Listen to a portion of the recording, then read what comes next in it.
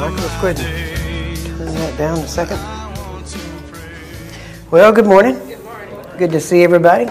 Glad you made it out. We're going to, here I see, I know we got some out for uh, Thanksgiving. Actually, uh, Kevin, Rosemary, and their family will be back this evening, and they'll be in the offices tomorrow. Uh, everybody have a good Thanksgiving? Yes. It's good. Hopefully, you were able to get some time with your family. I know it gets hectic sometimes now. Try to get all this replaced here. Sorry about that. There we go. There. All right. Well, got some quick announcements to make. Uh, I guess first off, silence anything that makes noise. Maybe I ought to rephrase that and say it a certain way. Turn off phones, cell phones, that kind of stuff. um, also, and actually a couple weeks ago I said if you're having a birthday or something coming up, be sure to let us know because we want to wish you a happy birthday. And we, I, well, I'll try not to embarrass you or you know do anything, you know, make you stand up or sing to you, any of that kind of stuff. But uh, this last week on November 19th, we had a birthday for Tracy Herrera. I don't know if y'all know Tracy, but Tracy and Bobby come up regularly for the seminars, and they're in San Antonio. And I believe she turned 29. No, I don't know. I'm not sure what that was, but I'm not, not sure what her birthday was. But she's a, a prayer warrior of ours, and has they their family have just been just faithful friends with us for almost um, probably longer than any other partner or prayer warrior that we've ever had. I guess they've been with us from the very beginning. It seems like so. Um, but that was her birthday, and then on November 23rd was Dave Loggy's birthday. I don't, know, I don't know if y'all met Dave or not. He was at our conference. He's also uh, Dave and Patty are our regional directors for the uh, Central U.S. time zone, and it was his birthday, so we want to wish them a happy birthday. And then, of course, uh, I had mentioned last week, and I don't know if I have them up here. I don't guess I do. Uh, we had our Diversities of Tongue seminar if you did not attend that or have not uh, had much teaching on tongues and their operations, I would highly suggest you get a hold of that teaching. Go through it. There's a lot involved there. Uh, we have the CDs and DVDs, manual, all that stuff is back there. But essentially, it is one of the few things that Paul said, I wish you all did it. Oh, you know, very few things he say that about everything. But um, as far as uh, the practicing uh, speaking in other tongues. What I mean by that is is being able to speak in other tongues and having received the baptism of the Spirit. There is an essence there that if you have not received the fullness of the Spirit, you need it. Jesus made it very clear. He wants everybody to have it. We will actually look at some of that today, probably. But uh, those are available back there at the table. You can talk to someone back there if you want to see about getting those. But we also have them in, in MP3. Second, and this we're real happy about. For about almost 13 years now, we have been teaching the DHT. And it's always been, we've never really relied on anything behind us like, uh, you know, the, what do you call it, PowerPoint or any technology per se. It's always just been a manual, the Bible, teaching it. Um, but when we taught it here a couple of months ago, actually, I guess it was in October, September, October, sometime to there, August somewhere. I can't remember when we did it. But um, we, afterwards, uh, Michael went through, and I gave him a bunch of pictures, uh, pictures of our first daughter, the one that passed away. I think we had pictures of Rebecca when she fell out the window, and different things. Just a lot of the pictures. If if you've ever been to the DHT and you've heard the training and you've heard some of the testimonies, now we finally have a DHT set that actually has all those pictures in it. So you can actually go back. Uh, if you get a, if you see our daughter, the one that passed away, uh, and see the tumor that we talked about and all that is there, uh, you can understand a little bit of my hatred for sickness and disease. And you'll, you'll, people said, you know, I just don't see why you make such a big deal out of healing. Well, uh, you obviously haven't walked in my shoes. Simple as that. Now, healing is not the end all. It's not everything that Jesus died to provide for us, but it was a big part of it.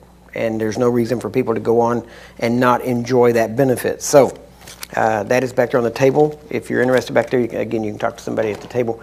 Um, but this is the first time we've had that. We've, we've never, I'd taken the pictures around with me and showed them to a few individuals, things like that, but we've never just had it out there for people to see like that. Uh, so that is available. Next, also, uh, we'll be back to our regular schedule tomorrow. We'll be here in the office. Uh, our healing rooms will be back uh, opened up again. Uh, out of town visitors should call ahead for appointments, as we said. And I always have to say this too, because you have to remember it's not just us here. We're also on internet. People are watching by internet, and so they hear this, uh, and people want to come in. If you're local, you don't really need an appointment, but it is good to call ahead just to let us know you are coming. Uh, if you have a certain time you're going to be here, we'll make sure someone is cut loose.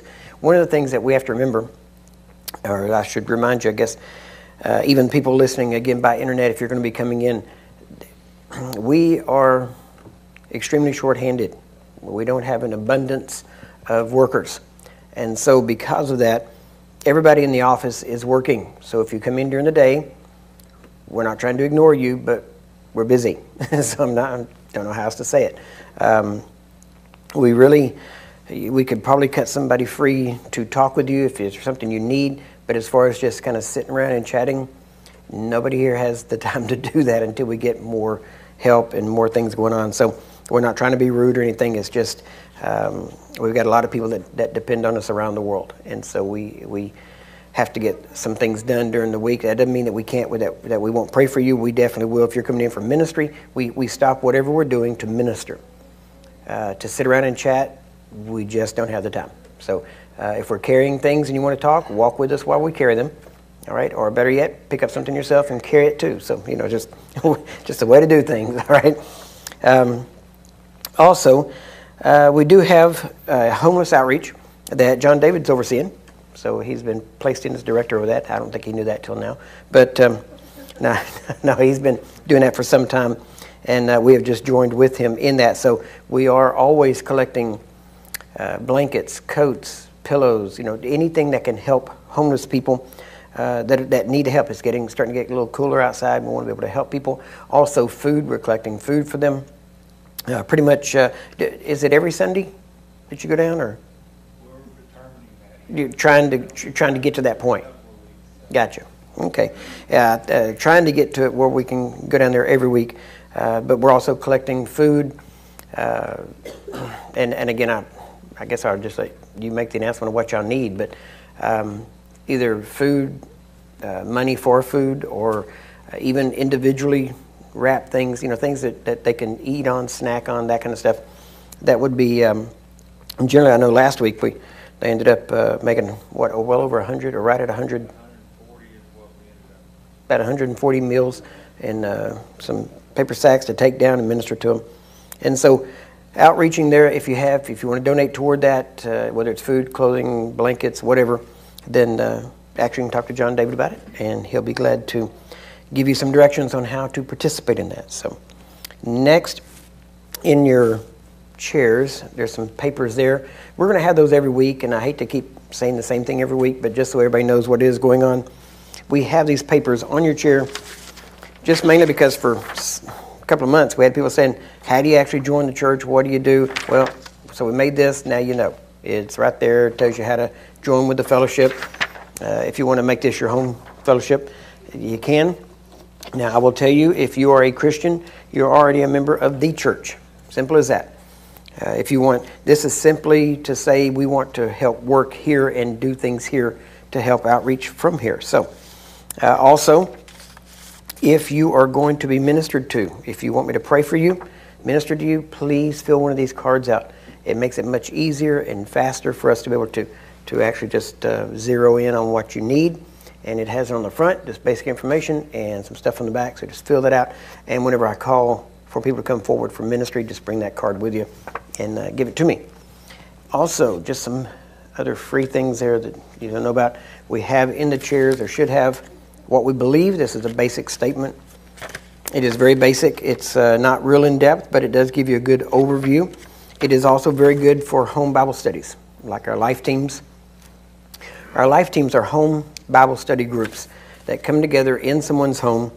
Generally, it can be any place, but uh, it is basically come together to learn how to take the gospel to your city. It's not just about you knowing more, it's about you actually reaching your city. So the purpose uh, is to grow you up so that you can actually minister. Now, actually, last, last week, we had. Um, I think both sections or both sessions in the morning is uh, we had on guidelines for Christian workers and just had some basic things, and we may actually go over some of those today. And we're trying to. It's not just about me coming in and having a sermon to preach. I, I don't like that. I don't like to just preach a sermon. The idea is that we're to train and raise up Christian workers, people who know how to minister Christ. But it's also to grow. And if you know how to minister, then you will grow at the same time. So it's uh, at some point the church has to realize this ain't about us. That that it was about you until you got saved. Once you got saved, it's not about you anymore. After that, it's about them. It's about the unsaved. Amen? So Amen. it's uh, getting you trained up so that you can reach them. It's not that God forgot about you once you got saved. It's just that He's not worried about you no more. Right? And what I mean by that is He's, he's, he's, He knows you're okay now. You're right with Him. And so He wants to um, get, get you to a place where you can help others get right with Him. And so we have um, ways to do that. One of, our, one of the main ways for training that we have is what we call our life teams. You'll also see these papers there in your chair. If you're interested in joining a life team or if you just want information, let's put it that way, fill this out, turn it in. We will give you a call. We'll talk to you about joining a life team. We haven't, um, actually, now's the time to get started because we, we haven't formed any here yet, but we will be starting those in the next, probably, I would say by January, we will have them kicked off and, and kind of stationed around the, the cities nearby. So um, if you're interested, let us know. We're looking for places to hold those. And what I, my, my plan, my goal, is to get to a place where during the week, if there are life teams going on, I'll have a list of them and I can show up. And I'll just go over and probably that night just teach the lesson. And so each week you have a lesson. Uh, we have, we're preparing lessons in a systematic format so that it should promote growth and you should grow up in Christ and should be a progressiveness to it. So uh, if we have a life team going on, especially if you're in the uh, DFW area, in this local Metroplex area, then more than likely I will be able to show up and teach that class at different times. I'll let you know ahead of time that, that we're coming over, but uh, generally we try to uh, get around to some of our life teams. So if you're interested in that, fill that paper out. If you don't have one of these, you need to grab one. It's just a bookmark. It says diversities of tongues. It talks about and on the back side it says, Have you spoken in tongues today? We emphasize that. Uh, it is an unfortunate situation in the church that speaking in other tongues has almost died out to a large degree. And it is vitally important. It is what John Lake, uh, if you're familiar with John G. Lake, he said that speaking in other tongues was the making of his ministry. He said that's what did it. That's what built in him the ability to do the things that he did. And so we always emphasize that. It is a normal Christian experience. Every believer should speak in other tongues on a regular basis. And so if you have not received the baptism of the Spirit or the ability to speak in other tongues, see one of us after the service. We'll be glad to minister to you. And it's just a gift. It's, you don't have to be perfect to, to get it. Uh, you don't. Um, it is a gift. You, you simply have to be one of God's children. Ask for it, He will give it to you. It's that simple. And so, uh, next you'll see, I know it's all these papers, all this paperwork, you know, but this just says, uh, do you consider this your home church? Yes or no? Would you like more information on midweek opportunities for fellowship? Kind of same thing I was talking about with the life teams, but it just gives us an information about what, how you, where you see yourself here and what you want to do. So it's a way for us to just kind of make contact with you. And finally, I want to let you know about some of these things very quickly. Now, I'm not trying to sell stuff, right? If I tell you about this, I'm not trying to sell it to you, but we have a stack of these over there that we have made uh, just so you could have one. If you do not have one, feel free to grab one. Uh, it is called JGLM Invades Indonesia. It's a DVD. It's about, I don't know, four or five hours long. It's a bunch of footage when we went to Indonesia and uh, it, it, shows some of the healing services and some of the different meetings, some of the different places we went. So it's just a free DVD. Take that, watch it. Uh, like I said, it's about four hours long, so you may want to break it up into segments, even though I know many people spend four hours a day in front of the television. So if you're going to do that, do it with that. It's good for you. All right. So, uh, secondly, we've talked about this actually yesterday, uh, last, actually a couple of weeks ago now. Uh, this is called How to Stand. And we have gotten a lot of positive feedback on this because generally, whenever I'm asking God what He wants me to bring out, it's not so I can prepare a sermon, it is to, as I said, help grow up Christians so that they can function in the body of Christ and function fully as a Christian. And God made a promise that if we will believe, then He will be able to work through us. We've had a whole lot of teaching on faith. A lot of it's been very good, some of it not so good. But we've had a lot of teaching on faith, we've had a lot of teaching on different aspects, and for some reason, uh, God seems to bring to me the areas that we've missed, or areas where there seems to be gaps in the teaching, or gaps in the um, where where people don't always grasp the biblical truth of something. And so he, when he does that, he points these things out. And one of those things that he pointed out was how to stand. And people generally don't know how to stand. They don't know. Now, I, I firmly believe when it comes to healing and things like this, there shouldn't be a whole lot of standing. I believe that healing should be, if not instantaneous, near instantaneous. I believe it should be very quick. At the same time, there are times in your life when you are believing God for something. God has made you a promise. The promises of God are in Him, yes, and in, in, in Christ, yes, and in Him, amen, or so be it. So if God has already agreed and said, so be it, then we need to know how to stand until we see it, until we have it in our possession. And a lot of people just don't know how to stand. And so uh, I actually took two sessions on a Sunday morning. As you, many of you probably know, we break this into two sessions from 10 to 11 and from 11 to 12. And I took both sessions and taught on how to stand. So if you have not heard this, then you might want to grab a copy of this back there on the table. I don't know how many we have back there, but we have these back there. It's a two CD set. It, probably two CD, probably two DVD, or one DVD, I would assume. I'm not sure. But anyway, um, I really want to emphasize this because so many people start believing and then quit or give up or back off and they don't know how to stand. And then every failure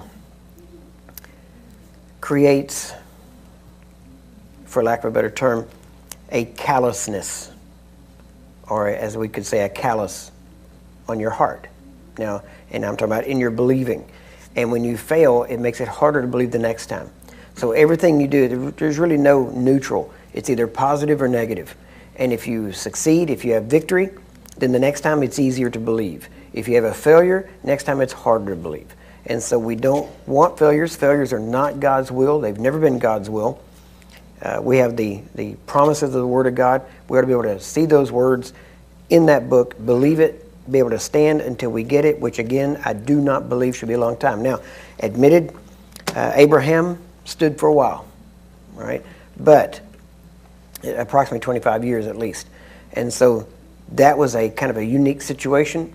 But when it comes to healing, when it comes to things that are provided and they are provided through the atonement of Jesus Christ, there should not be a long standing.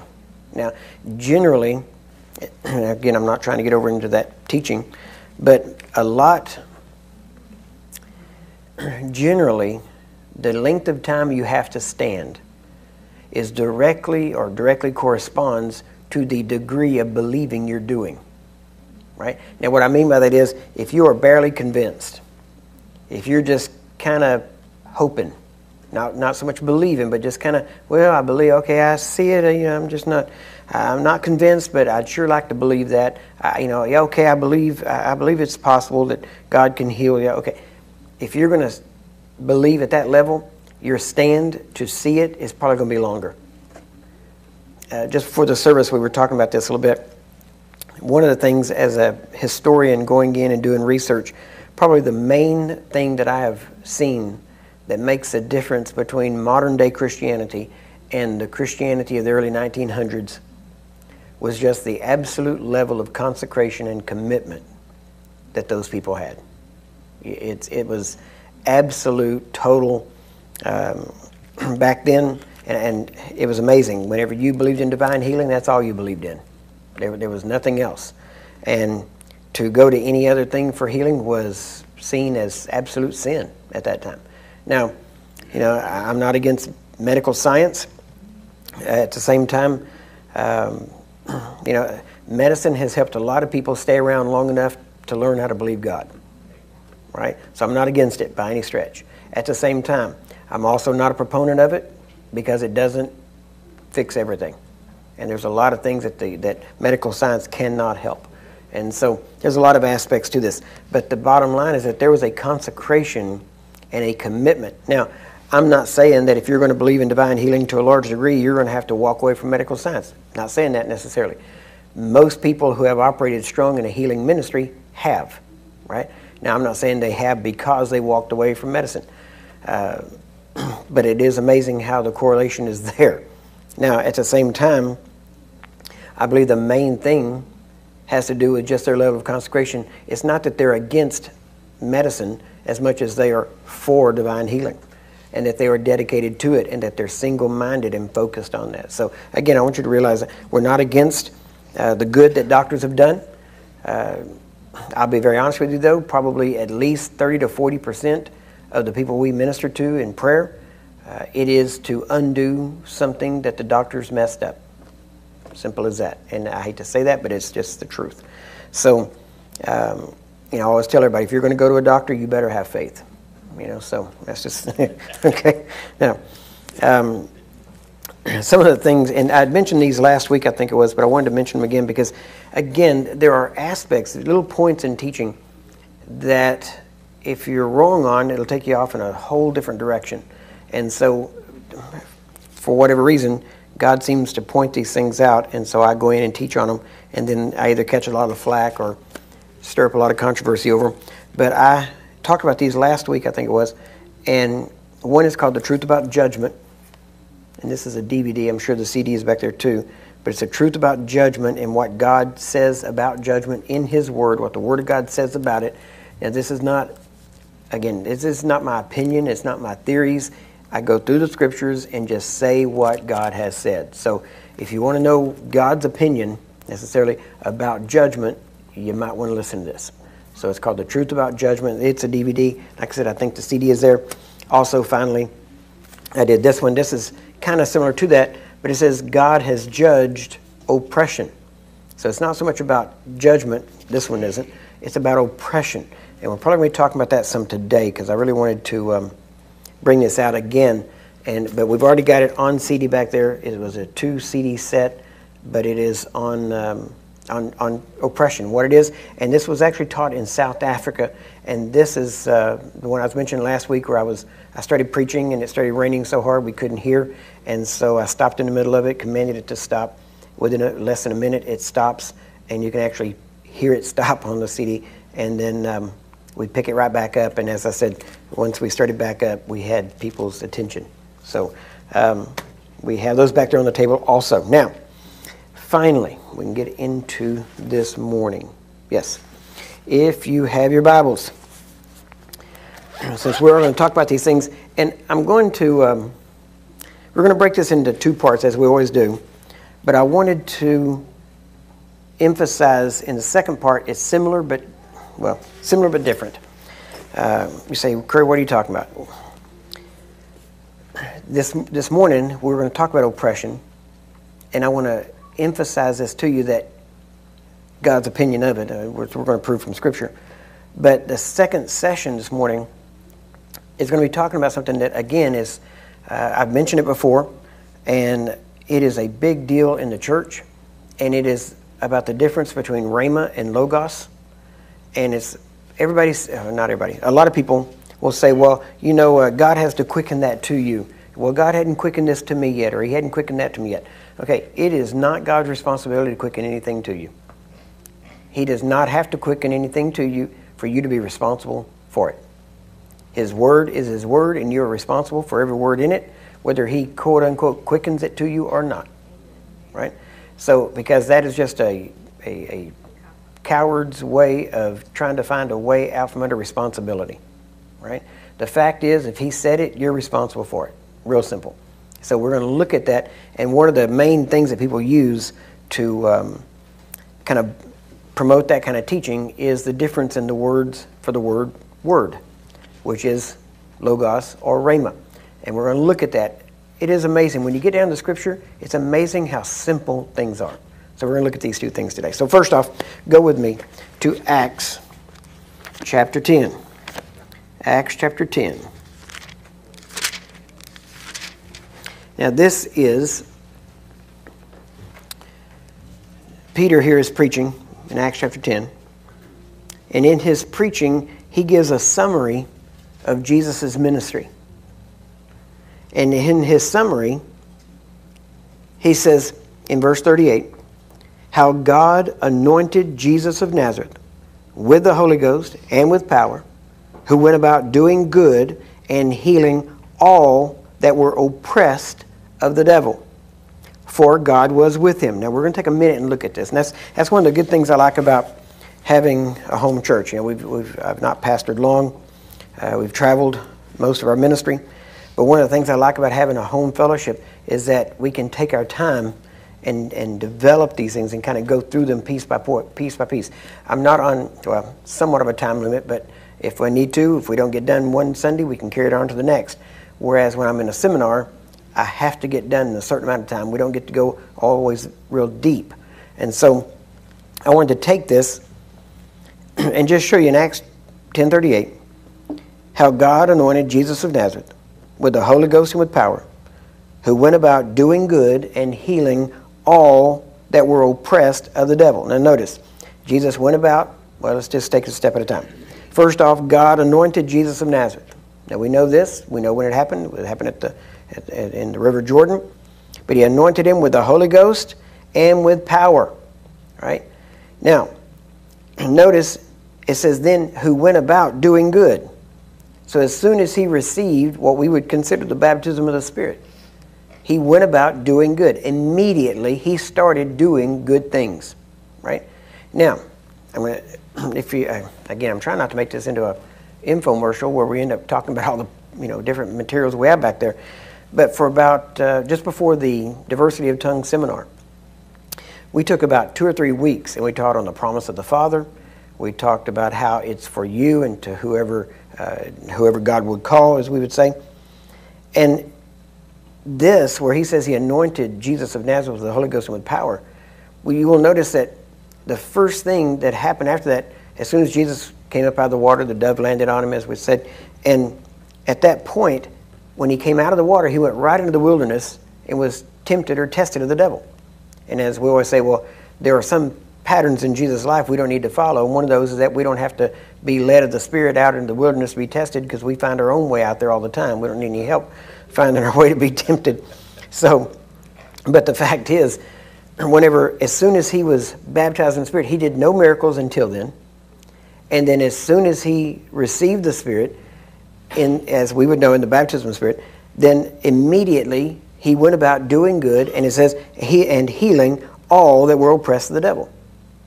Now, if you, and again, if you go back to the early days of Pentecost in the early 1900s, one of the things that stood, about, stood out about the early Pentecostals was that as soon as they were just normal Christians, and then they heard about this baptism of the Spirit, and as soon as they received the baptism of the Spirit, their entire life changed. It was almost as if that was the new birth in, the, in their own life. Now, they may, may have been good people, may have, uh, you know, obviously were Christians before then, but it was amazing because as soon as they got baptized in the Spirit, all of a sudden they would quit their jobs and travel across country and start churches and just go on street corners and preach and go out around and pray for people. It was just amazing. Their entire life changed as soon as they received the power of the Spirit. And John Lake himself heard about the baptism of the Spirit in 1906 up into 1907 uh, when Charles Parham went into Zion, Illinois, and started preaching some Pentecostal messages there. But he started seeking the baptism of the Spirit and didn't get it for nine months. Didn't receive it for nine months. But when he did receive the baptism, within six months after that, he was in South Africa. So here he is. He had, for 10 years, he had been ministering healing. He had been praying for the sick. He had been getting results. And then, and he, but he was, and he was a successful businessman. And then as soon as he received the baptism of the Spirit, all of a sudden, within six months, now he's, he's selling everything they have. He is pulling together a small band of missionaries, which the biggest number was he and his family. And they get on a, a boat to go to South Africa They had no missionary sending unit, nobody, no mission board to send them, nobody guaranteeing them support. They got on board, ran out of money on the way, got down to where they, they had a dollar twenty-five in their pocket. And when they landed in, in Cape Town in South Africa, couldn't even get off the boat because they didn't have enough money in their pocket because South Africa required you to have a certain amount of money before they would even let you get off a boat and, and come ashore. And while they're standing there, the Spirit of God spoke to John Lake and said, Go get in line. And he said, Well, God, that doesn't make any sense because I don't have any money to get off. When they get to me, they're just going to tell me to get out of line. And the Spirit of God told him, Go get in line. So he went and got in line, and while he was standing there, a man walked up to him, asked his name, said, What are you doing here? And he told him what he was doing, and he said, Well, God spoke to me and told me to give you the money that it would require for your family to get off the ship. So he gave him the money, but he had to go get in line first. See, that, is an act of faith. He had to get in line before he could see the provision. And so the man gave the money. Then, as soon as he got off the boat, right there in the customs building, the amazing thing is that customs building is still there. Same building, still there. Uh, when I was in South Africa last time, we went to Cape Town, and I got pictures of this old building, and it was the customs uh, where they had to come through and, and do all the paperwork. And there was a woman there named Mrs. Goodenough that whenever she saw them come ashore, she was stopping everybody and saying, Are you missionaries? Are you missionaries? And when she saw them, said, Are you missionaries? He said, Yes. She said, How many are in your party? Well, she'd been asking other missionaries because they weren't the only missionaries going, but there were several other groups. And she said, How many are in your party? And they would say, Well, there's three. Okay, you're not them. Well, there's four. Well, you're not them. Finally, whenever she got to him, she said, How many are in your family? In, in your missionary party? And he said, Well, there's nine of us. And she said, You're the, you're the ones because God had told her there'd be a, group of nine missionaries that were coming that she was to provide housing for. And she said, I have a house for you. You can live in it rent free for as long as you need it. And so now, the amazing, the amazing thing was, she met them in Cape Town. Her house was in Johannesburg, which took about two weeks at least to go from Cape Town to Johannesburg. And God had told her what day to be there, how many were going to be in the missionary number and worked arranged it all so that by the time they actually got back to Johannesburg, they had a place to stay. Everything was being taken care of step by step. They were not promised any of that before they got on the boat. God didn't tell John Lake, when you get on the boat, you're going to run out of money, but don't worry, I'm going to have somebody there waiting to give you money. And you're going to need a place to stay, but don't worry, I already got that. He, he didn't hear any of that. He just went expecting God to take care of their needs. So, again, when you, when you go back and you read, I can honestly say, some of the exploits that we have seen in our life and ministry, I probably would not have seen had I not read the lives and their stories of the lives of these men and women of God that, that went before. The Bible is almost a complete book of biography. And it tells, and the beauty of it is, it not only tells their successes, but tells their mistakes and shows that, a, that God can use a person that makes mistakes.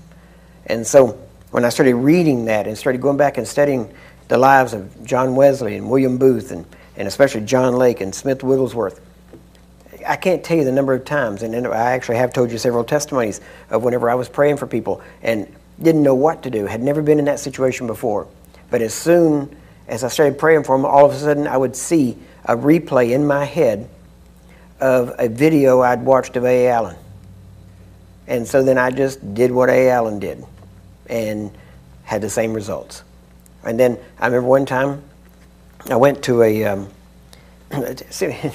what people don't know is a lot of times the congregation are the guinea pigs. They're the ones you practice on. Okay, doctors practice medicine, we practice ministry. All right, so so I just I'd been reading about Wigglesworth, and I, would interviewed a bunch of people that had been around Wigglesworth, and and actually his two of his uh, personal assistants that had traveled with him for over 20 years, I actually talked to and interviewed many times. And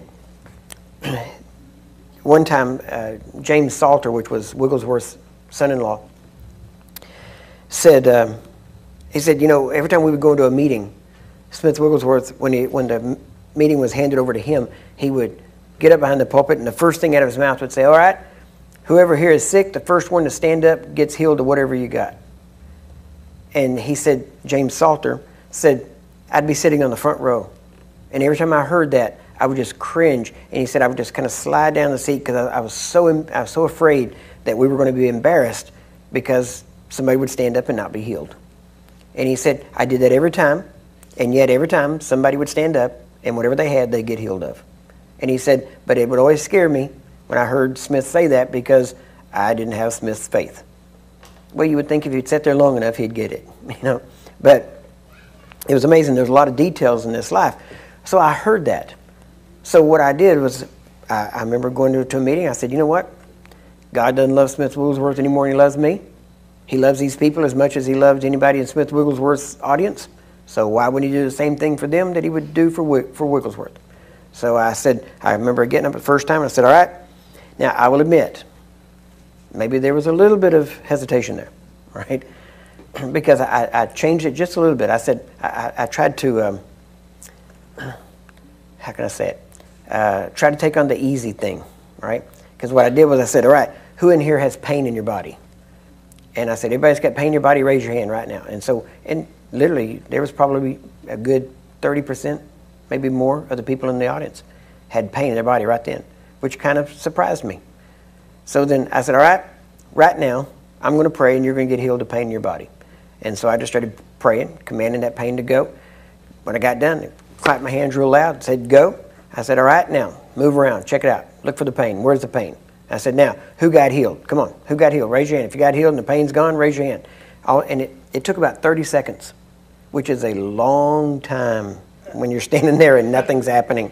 All right? And you're kind of, you know, you start to feel the sweat break out on your forehead, you know. And I remember standing there thinking, okay, I wasn't going to say a word. I'd already put it out there. And after about 30 seconds, all of a sudden there was a, one hand went up. I'm like, God bless you. God bless you. I was, I was really happy about that. And then, but it was like, it was amazing. It's like popcorn. It's like one hand, another hand, another hand, another hand, another. And it, it seemed like it just started, it started getting faster and faster. And pretty soon I said, all right, is there anybody here that had pain that did not get healed? I said, if you, if you did not get healed and you had pain in your body, let me see your hand. No hands went up. I said, so everybody had pain. There's no pain in anybody's body right now. Everybody's looking around each other. And now I had that sense of relief, like, okay, now we're good. And I said, and then I started right out. I said, now, I said, we started by proving that Jesus is here. I said, because I didn't touch you. It wasn't in my hands. It wasn't nothing. I said, it was between you and Jesus. Jesus died for you, and he's the one that healed you. And I said, it was Jesus that touched you and set you free. So we know that's truth. So, so now, if he is verifying that, then now he's going to verify the rest that I preached tonight. And I just went right back in and started preaching. But I'll tell you, it was easy to preach after that. But there was a first time. See, there's always a first time. That's why most people never function in the power of God.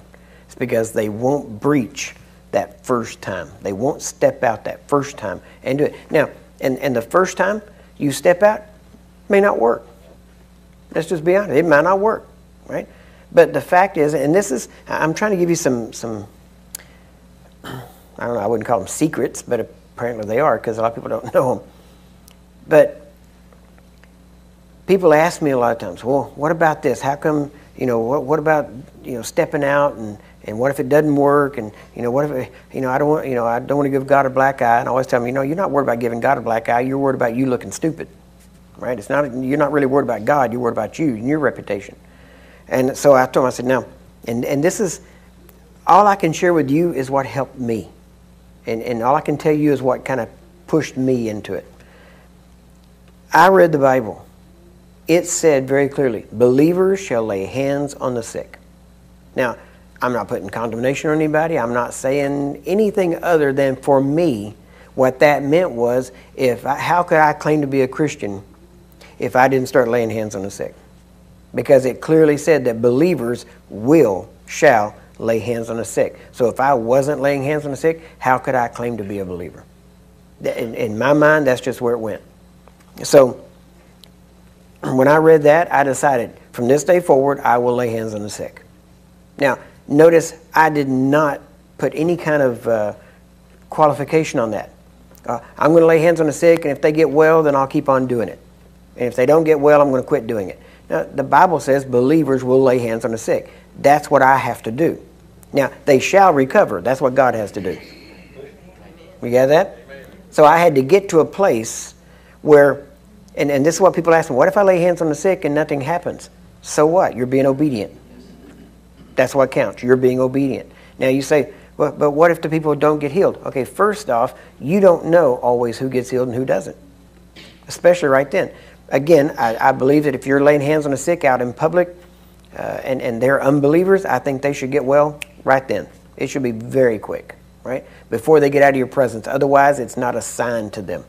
Now, but even if they don't, and, and very honestly, uh, even today, if you go out and you just start praying for people, a good m- number of the people you're going to end up praying for are going to claim to be believers. They're going to claim to be Christian.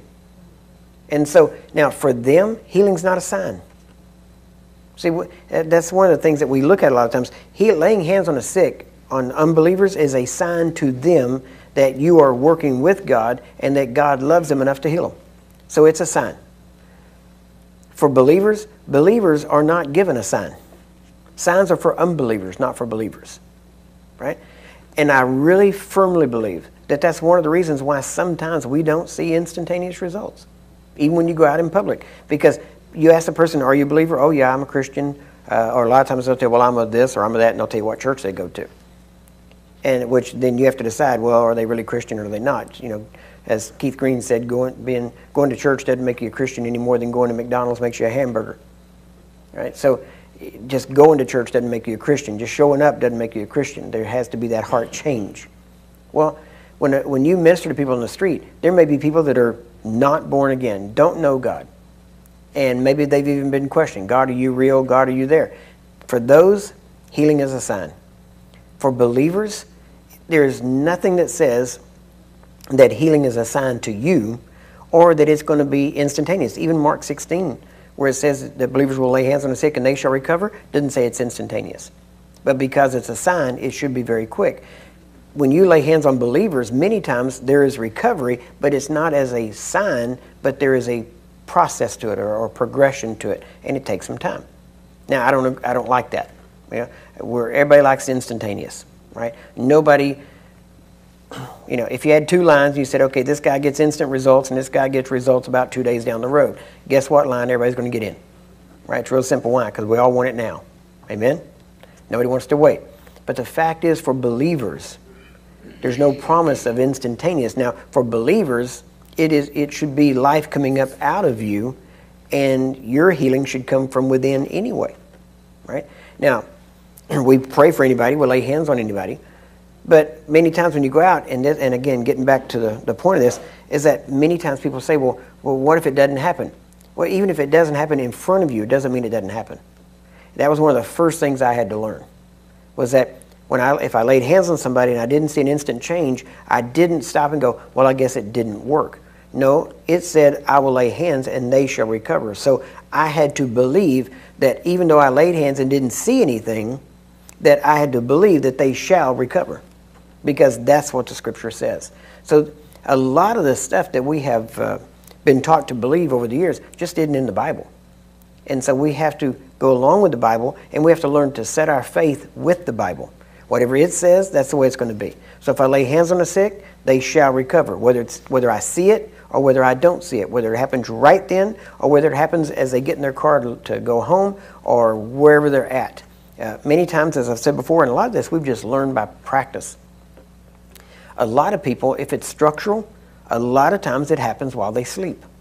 So many times it's not instantaneous, but it's within 24 hours because at some point they're going to go home, go to bed, and when they wake up, it's different. Now again, I don't like that.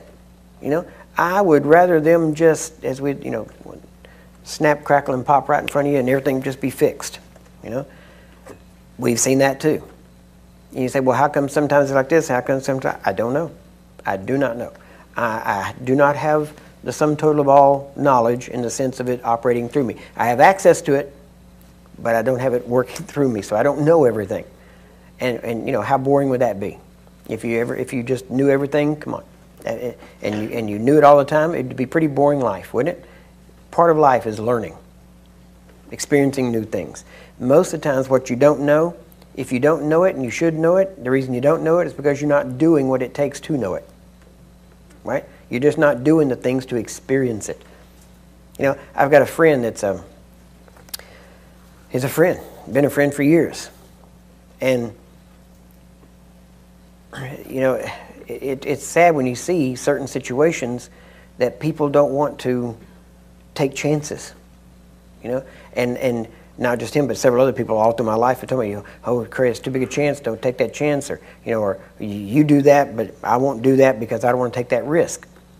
Well, I hate to be the one to have to tell you, but the greater reward comes with a greater risk. And most people never see the reward because they never take a risk. You know, me, I was just crazy enough to take wild, stupid risk. Okay, I, I took risks that everybody told me I shouldn't take, and but it's funny because it worked. You know, and it didn't always work right then, but it worked out. And you know, there's two parts to taking a risk. One is taking the risk, and the other is keep taking a risk. Because most people quit taking a risk at some point. You know, they'll do this, and if it works, fine. If it doesn't work, they quit. Or and if it does work, they'll do it until it doesn't work, and the first time it doesn't work, then they quit. Well, no, do it again because that's a greater risk. Risk, if you're not going to operate in risk, you're not going to operate in faith. Faith always involves a risk, always.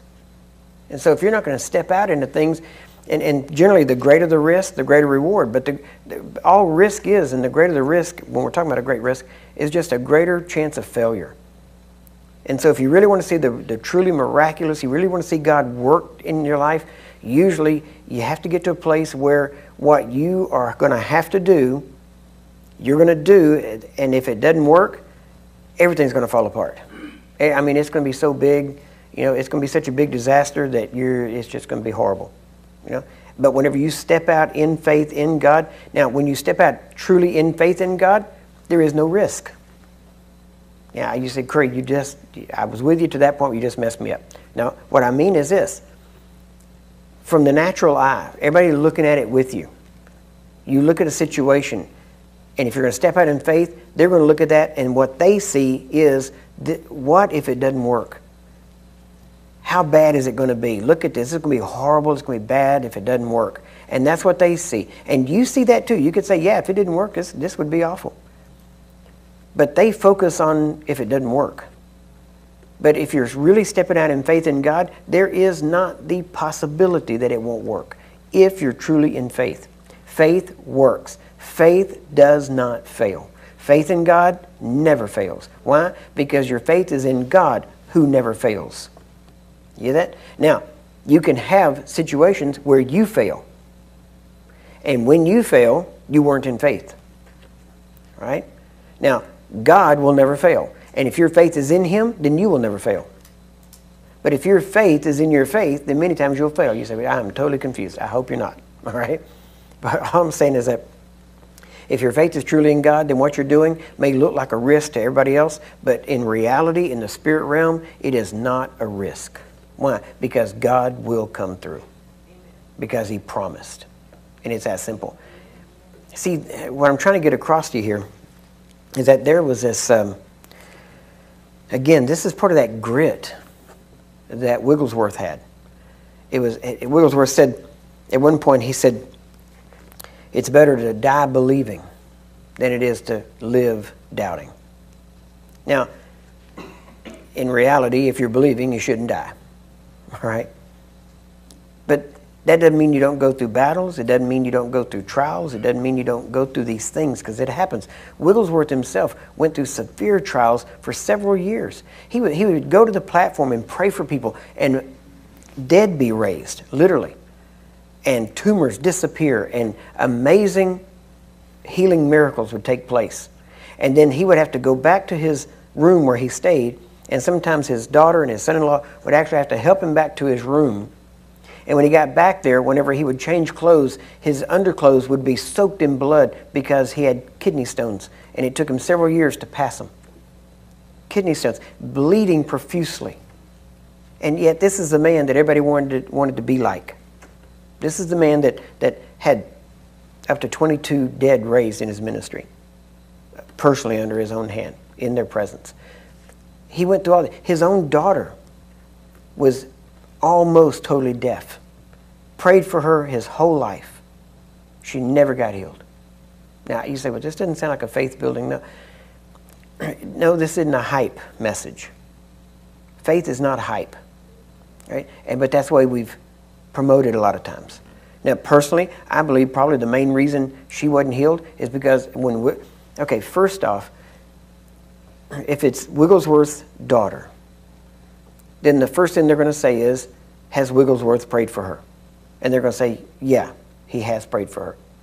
She had to sit on the front row, and back then they didn't have, you know, hearing aids. They had these big horns that they would stick in their ear and listen, and it amplified sound. She'd sit on the front row with that thing in her ear, trying to hear the message. That wouldn't generate faith, right? Who's the deaf lady on the front row? Oh, that's his daughter. Really? Why didn't he pray for her? Oh, he has. Okay. Well, once they found out that he prayed for her, probably nobody else ever prayed for her. Why? Well, Wigglesworth prayed for her, and if he can't get it done, who can?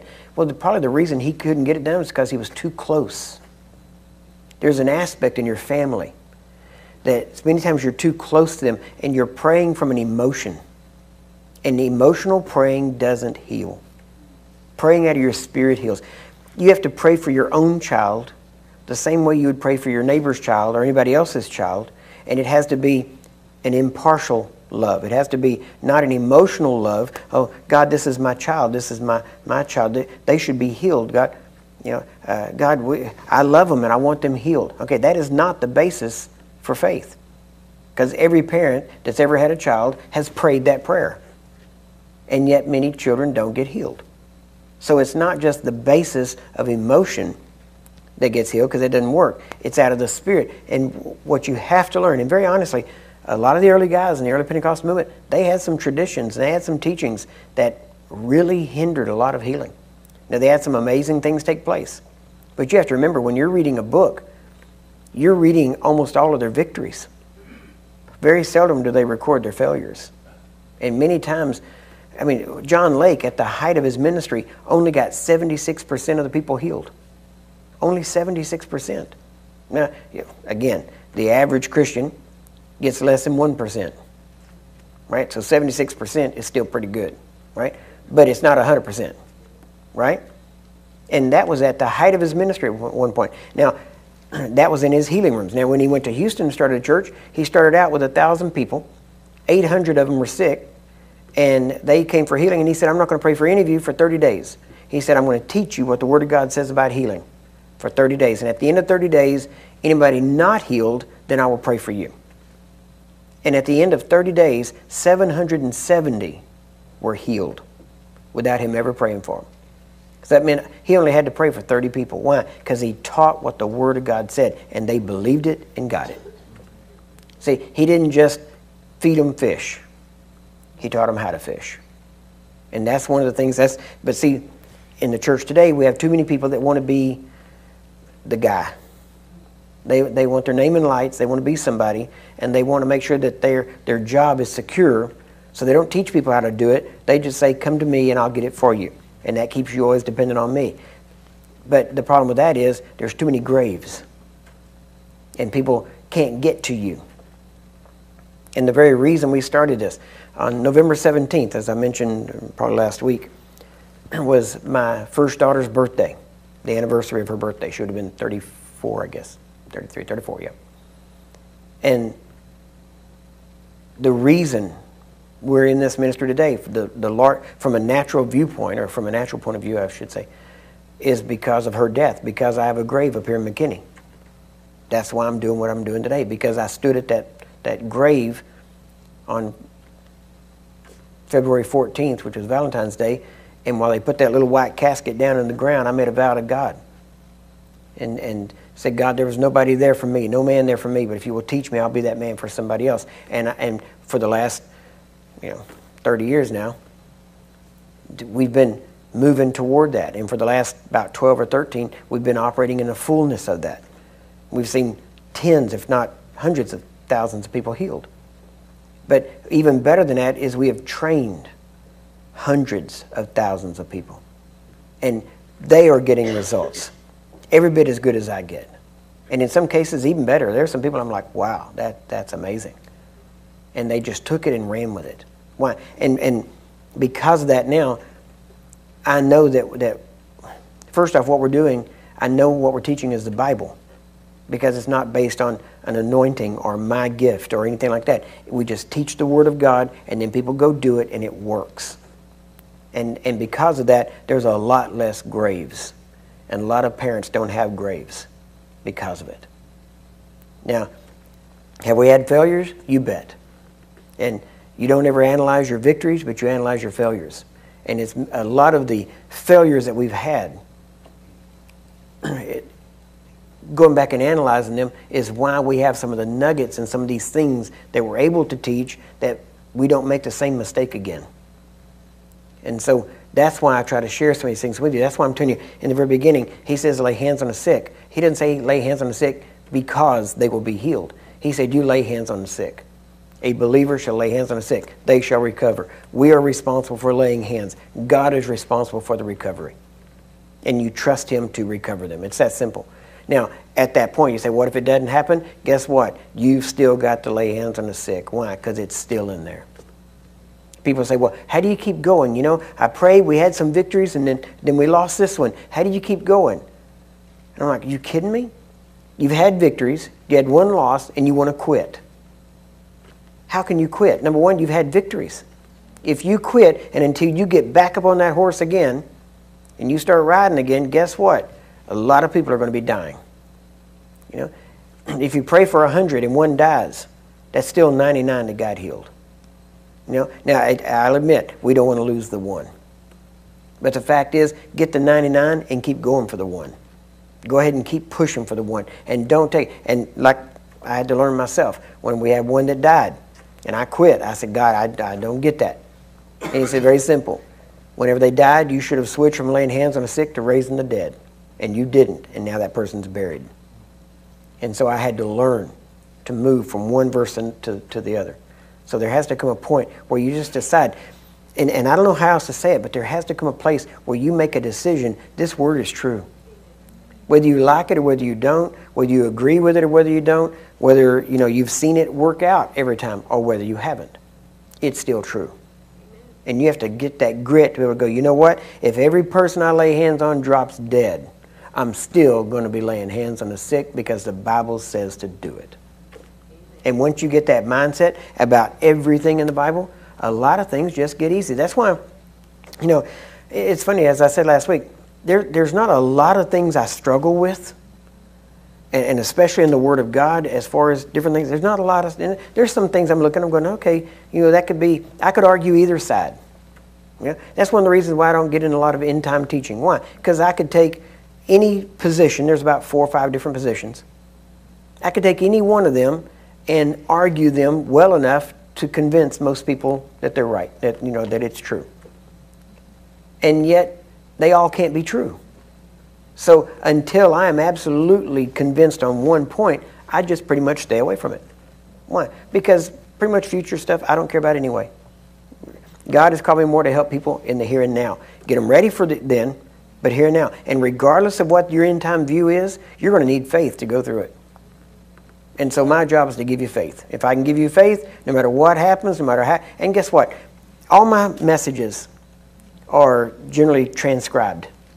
And then we, we put them into some type of manual or a book or we're, we're printing them. Well, if I go off and I start teaching on end time stuff, then it'll be the first time I've ever had to revise something probably because it's going to end up being wrong somewhere.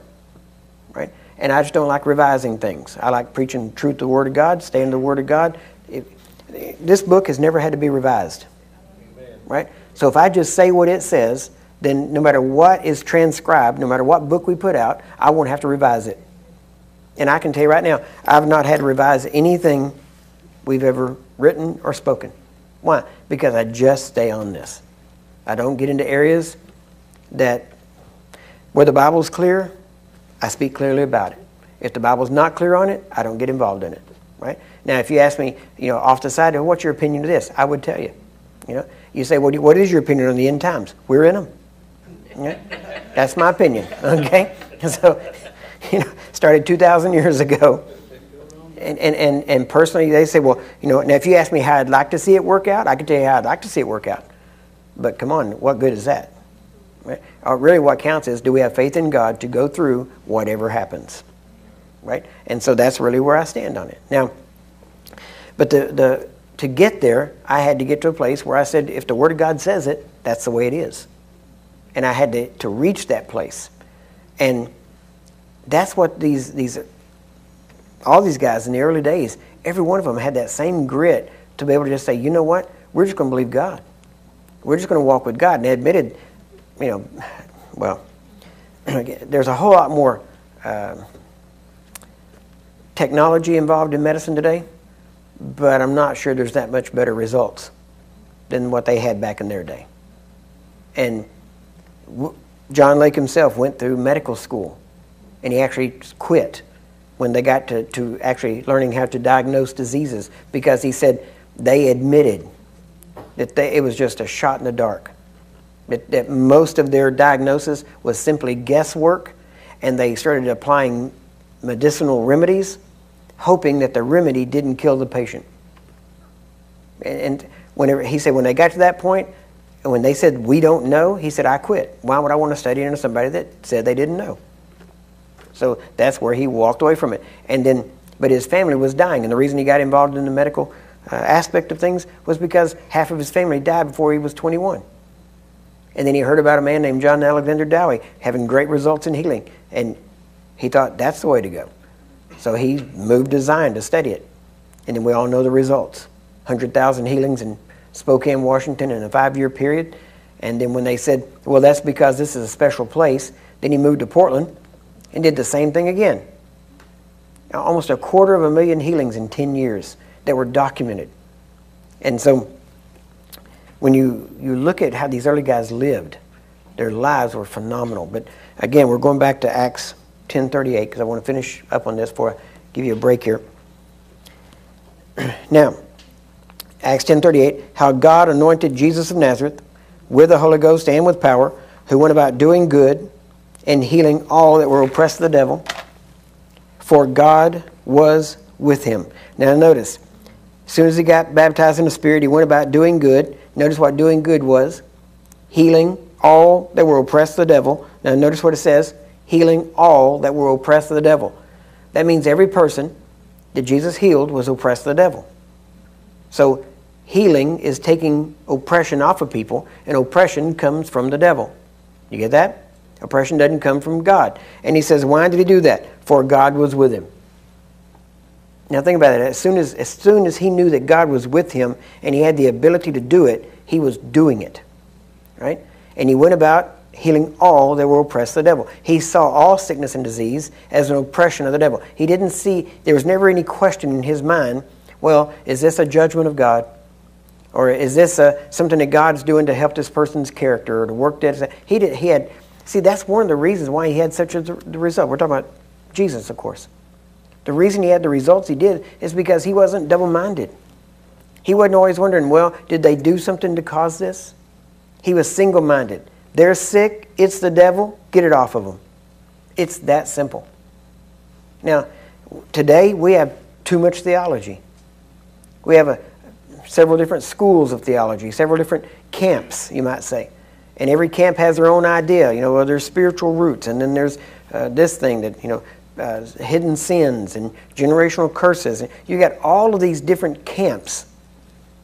And, and basically, every camp that you go to that gives you any reason why people don't get healed is a camp for the double minded. That's all it's doing is producing double mindedness in people and giving them an excuse of why they may not see results whenever the Bible is very clear. If a person's sick, now, even today, now you can go out and, and now they have, uh, what is it, autoimmune diseases. And a lot of that has to do with toxic work environments. You know, you go work somewhere where there's fiberglass, and you're going to end up getting lung cancer and different things like that because of it in there. It's, it's what they say. And people say, well, well, see, that's not a devil. No, the disease itself is of the devil the degeneration of your body is of the devil.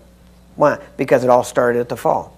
It all goes back under him. It's all under his care. Now, we can do things today. You can eat poison and it'll kill you. It'll degenerate the body and it'll kill you. And people say, well, but that's not a devil. No, but it's under the devil because he comes to steal, kill, and destroy. It, all death, all that kind of stuff is kind of in his realm, so to speak. And because of that, then it can be all kinds of things. It can, be, it can come from all kinds of different ways, but if it causes anything uh, detrimental to the body, then it is under the devil. It is that simple. And once you get single minded on that, then whenever you see this person, you don't look and say, well, okay, how'd this get there? How'd you do this? That all comes later. You just get the thing off of them. You realize this sickness is not of God. If it's not of God, it's of the devil. You say, well, what if it's, you know, uh, you know self inflicted? Doesn't matter. It's killing, stealing, destroying. It's under the category of the devil. The person didn't know or they did know or who cares, get it off of them. Then you disciple them. Then you find out, how'd you get this? Well, I had lung cancer and the doctor says it's because I smoked all my life. Okay, stop it. Right? We got you healed. Now stop. Don't keep doing it or it'll come back on you. You say, well, why? Is God going to take my healing away? No, you're going to get sick all over again if you keep doing the same thing. That's why Jesus said, go and sin no more, lest a worse thing come upon you. Why? Because you can do things to cause things, but it still all falls under the, the category of the devil. We've got to be single minded. Single minded for God, single minded against the devil, single minded for healing, and not trying to find out the source of people's problems. The source of people's, people's problems is the devil. All right? We, we know the source. Now let's deal with the situation and let's help people. Amen? Amen. All right, let's take about 10 minutes. We're going to move around a bit. Actually, uh, I guess we're going to do the offering. Yes, we are. Yes, do the offering. Uh, we, where's my son? and my son in law. We're going to do, if you're going to do tithe and offering today, make it out to JGLM if you're writing a check. JGLM or John. Lake Ministries, either way. Uh, those of you that are watching by internet, same thing. Uh, you can actually, I guess, you can even do it online, donate online. I don't know about any of that stuff. Uh, whatever you know want to do there, uh, but be sure to um, make it out to JGLM, and you can send it in. I would let people know if you're going to send anything in for the church or anything else, please send it to the PO box, PO Box 742-947, Dallas, Texas 75374. Have to say all that. Uh, send it to the PO box. Do not send it here to the to the actual location. Our mailbox here is not secure and it's low enough that a child can walk up and take it out and it's open. So um, don't send it here, send it to the P.O. Box. All right, we're going to bless the offering right now. Father, we thank you. We thank you for the finances that you bring in to continue this work. And Father, in Jesus' name, right now, we bless those that, that desire to give, whether they can or not. We bless them. And Father, we thank you right now that the finances coming in, that's multiplied back to them.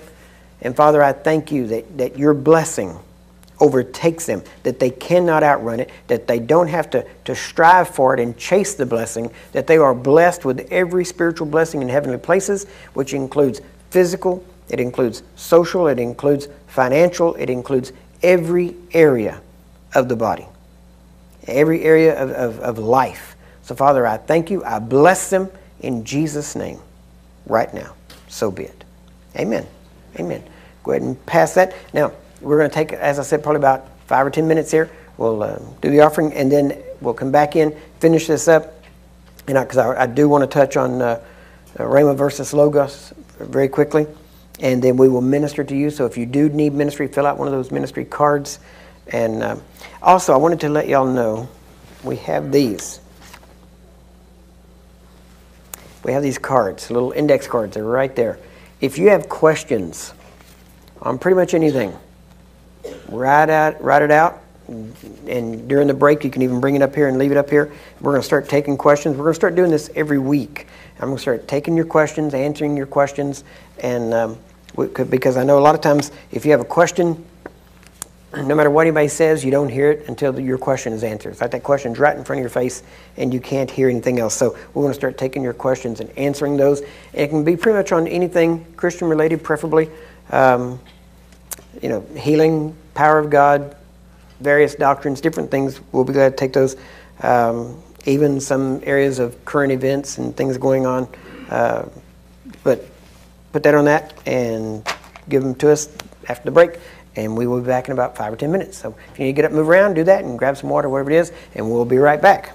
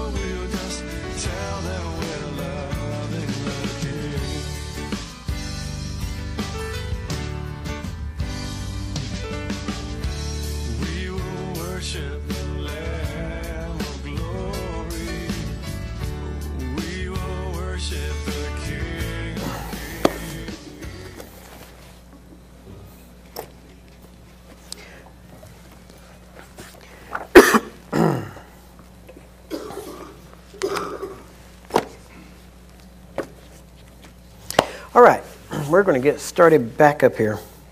So we're going to start now. This uh, second session, we are going to be looking at Rhema versus Logos. And the reason I'm bringing this out is because, as I said earlier, a lot of the um, a lot of teaching is based on the idea of having to get a Rhema word, and, and I'm actually using terminology that they use uh, many times to be able to stand on the scripture, and they'll say, well, you know, God uh, has to quicken that to me. He has to. I, I need a rhema, a rhema word for this, or something like that. And so now we're looking at the truth about rhema and logos, because I'm going to take you step by step through the scriptures. And uh, the, the initial statement I have here is that you think you're to act upon it because it's rhema, but in reality, it's rhema because you act upon it. And really, that's the, the, the essence of this teaching boiled down. So, first off, let's look at a couple of things. Uh, in there are many scriptures that have to do with the word rhema. We're going to look at several of them. But to begin with, let's just take the words rhema and logos and look at them first. Now, the word rhema is a Greek word, and as maybe I should give you some background on it. In the Greek language, and when you read the New Testament, it has the word word in it, right? Uh, man does not live by bread alone, but by every word that proceeds from the mouth of God. And so, and then um, in James it says, But be ye doers of the word and not hearers only, thereby deceiving your own selves. And these two words for word are, in the English, they both say word. But in the Greek, those are two different words. One is rhema and one is logos. So there are different words that the Greeks used that whenever the King James translators translated it over, they used one English word for several different Greek words. And it kind of muddies the water a little bit, but we're going to explain uh, what that is in reality. So, now the word, one of those words in Greek is the word rhema, as I said, and the other is logos. The word rhema, and I'm just going to give you some, well, not a lot of Greek here, but I'm going to give you the numbers. Out of Strong's Concordance, the word rhema is number 4487. It's pronounced rhema, and it comes. It's in only in the New Testament because it's in Greek, obviously, but it comes from the number 4483, four words before that, and it means literally an utterance, whether individually or collectively or even specifically. By implication, it is a matter or a topic especially of narration. Now I'm just reading straight out of the Strong's Concordance. It is especially of narration, command, or dispute. And it is translated in the King James as nothing, a saying, or word. Right? When it says that nothing shall be impossible to God, or nothing to, to him that believeth, nothing shall be impossible to him that believeth. The word nothing there is actually the word rhema and it basically says no word is void of fulfillment. Okay? So, now in Thayer's, Thayer's Greek concordance is, a, or Greek lexicon, is a much more in-depth dictionary, right? You say, okay, there's a lot of in, in-depth stuff, you know, I, I didn't know we were in Bible school. Yeah, church is Bible school. That's the way it should be, okay? So I'm giving you details uh, I, I, do not believe you ever ha- ought to have to go off somewhere to go to Bible school. I believe that people ought to be raised up right in the church and ought to know enough about the Bible to be able to function as a minister of the gospel without having to go anywhere. Okay? So in Thayer's, again, it's number 4487, it's the word rhema, and it means, number one, first definition, properly that which is or has been uttered by the living voice, a thing spoken or a word. Now, under that, it means any sound produced by the voice and having a definite meaning. So it would be a word, as we would know. It can be a series of words joined together into a sentence. So a sentence can be a rhema. Okay? It can be universally an utterance or a declaration. It is a saying of any sort, such as a message or a narrative. The second true definition of it is an imitation of the Hebrew word dabar, and it means it is the subject matter of speech or the thing spoken of. So for, basically, it means also it's a matter of narration or a matter of command or a matter of dispute, such as a case at law. Now, I know a lot of these are, you say, okay, what does all that mean? All right, we're going to break it down. Basically, it comes back to the definition of the word rhema is a word spoken or a thing spoken or an idea or concept spoken. Now, if you go to the word logos, it's number 3056 and it means a collecting or a collection as respects to speech. It is a word which, uttered by the living voice, embodies a conception or idea. Now, you say, that sounds like the same definition. Yeah, they are almost identical. Okay? And that's why it really doesn't matter whether it's Rhema or Logos. And matter of fact, if you go in, and again, if you're going to do deep studies on this, when I say deep, what I mean is going in and studying every word on it what you're going to find out is that generally the word rhema was a word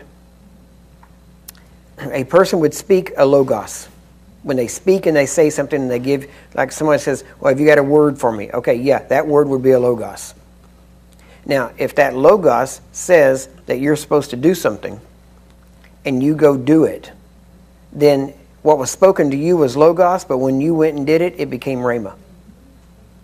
Okay? So technically, and this is what's amazing, if you go in and look at um, Vine's Expository Dictionary, which is probably the, the clearest on this, and let me, let me read it to you what he says from Vine's Expository Dictionary, New Testament Words, the word logos, number 3056, denotes, number one, the expression of thought, not the mere name of an object, as embodying a conception or idea. It is a way of explaining a, conce- a concept or an idea. It is a saying or a statement. It can be a statement by God, it can be by Christ, it can be by a person. but the what the main point here. I want to get to the main. Yeah, I want to get to the main definition here. He says, "Rhema." Now that was logos. Rhema denotes that which is spoken, which is uttered in speech or writing, a sing in the singular a word, or in the plural, such as a speech or discourse. Now the significance, and this is this is what I wanted to really boil it down to, the significance of rhema as distinct from logos is exemplified in the injunction to take the sword of the Spirit, which is the Word of God. Now, that's in Ephesians chapter 6, verse 17. Here, the reference is not to the whole Bible, but to the individual scripture which the Spirit brings to our remembrance for use in time of need. A prerequisite being the regular storing of the mind with Scripture. Now, all that's saying is this you when you read this book, this is Logos, right? Now we know that Jesus is also called Logos. Why? Because he is this word personified. You take this word, you read it, you put it in. Then, in any situation you're in, the Holy Spirit can bring to your remembrance particular scriptures that apply to that situation. Right? Now, it is not that he has to quicken something to make it alive. For instance, this is the way I've heard Rhema used before, was that you have two people praying. Uh, to one, it's Logos, and to the other, it's Rhema. And if the person is praying Logos, it won't work. It has to be quickened by God, and when it's quickened by God, then it's Rhema, and then it will work. So until you get a Rhema word, you might as well not even pray because it's not going to work until God quickens it right? That's the, the general teaching. That is not Bible. The Bible is you read this word, it's put into you, then you go into a situation, for instance, Mark 16. You're walking through Walmart and you see a sick person and you think, I should lay hands on that person. Why? Because believers lay hands on the sick and they shall recover. Right? Now, you don't even know that's the Holy Spirit bringing it to your remembrance. You think it's just you remembering. But the minute he brings it to your remembrance, it's still not Rhema. Now, it is rhema in the sense that he is bringing it to your remembrance. But the rhema is whenever you act upon the logos, because what he's bringing to your remembrance is logos. Right? He's bringing to your remembrance what Jesus has said. Then you make the decision to act upon it, and when you act upon it, that which is a concept or an idea becomes a living word to you because now you're living by it. For instance, it says, Man does not live by bread alone, but by every word that proceeds out of the mouth of God, by every rhema that proceeds out of the mouth of God. Now, what it what it's saying is that is that you actually live by the word that proceeds out of the mouth of God. Okay, this word from here to here, okay, proceeded out of the mouth of God. Right? So this word is the word of God. Now, this is what you live by. But if you're not doing every word in here, you can't say you're living by every word. You get that? For instance, several thousand laws on the books here in America. Most people, my dad being a policeman, uh, really almost all of my life, he used to tell me, he said, if a policeman wants to pull you over, he will find a reason, right? He said, the average policeman can follow the average person one block and find at least 15 mistakes they make. In any one of those mistakes, they have a right to pull somebody over for.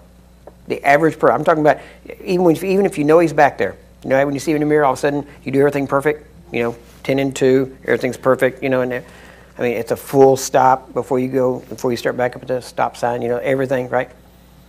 And even with you knowing him that he's back there, you will still make anywhere from 8 to 10 mistakes that he can pull you over for, right? You think, how can that be? It, cops know what to watch for, okay? And usually you're so nervous you make mistakes. It's the nervousness that makes you make the mistakes. So it, the idea is that you may be able to live a normal life, but the average person breaks the law, usually within one block, anywhere from 8 to 15 times.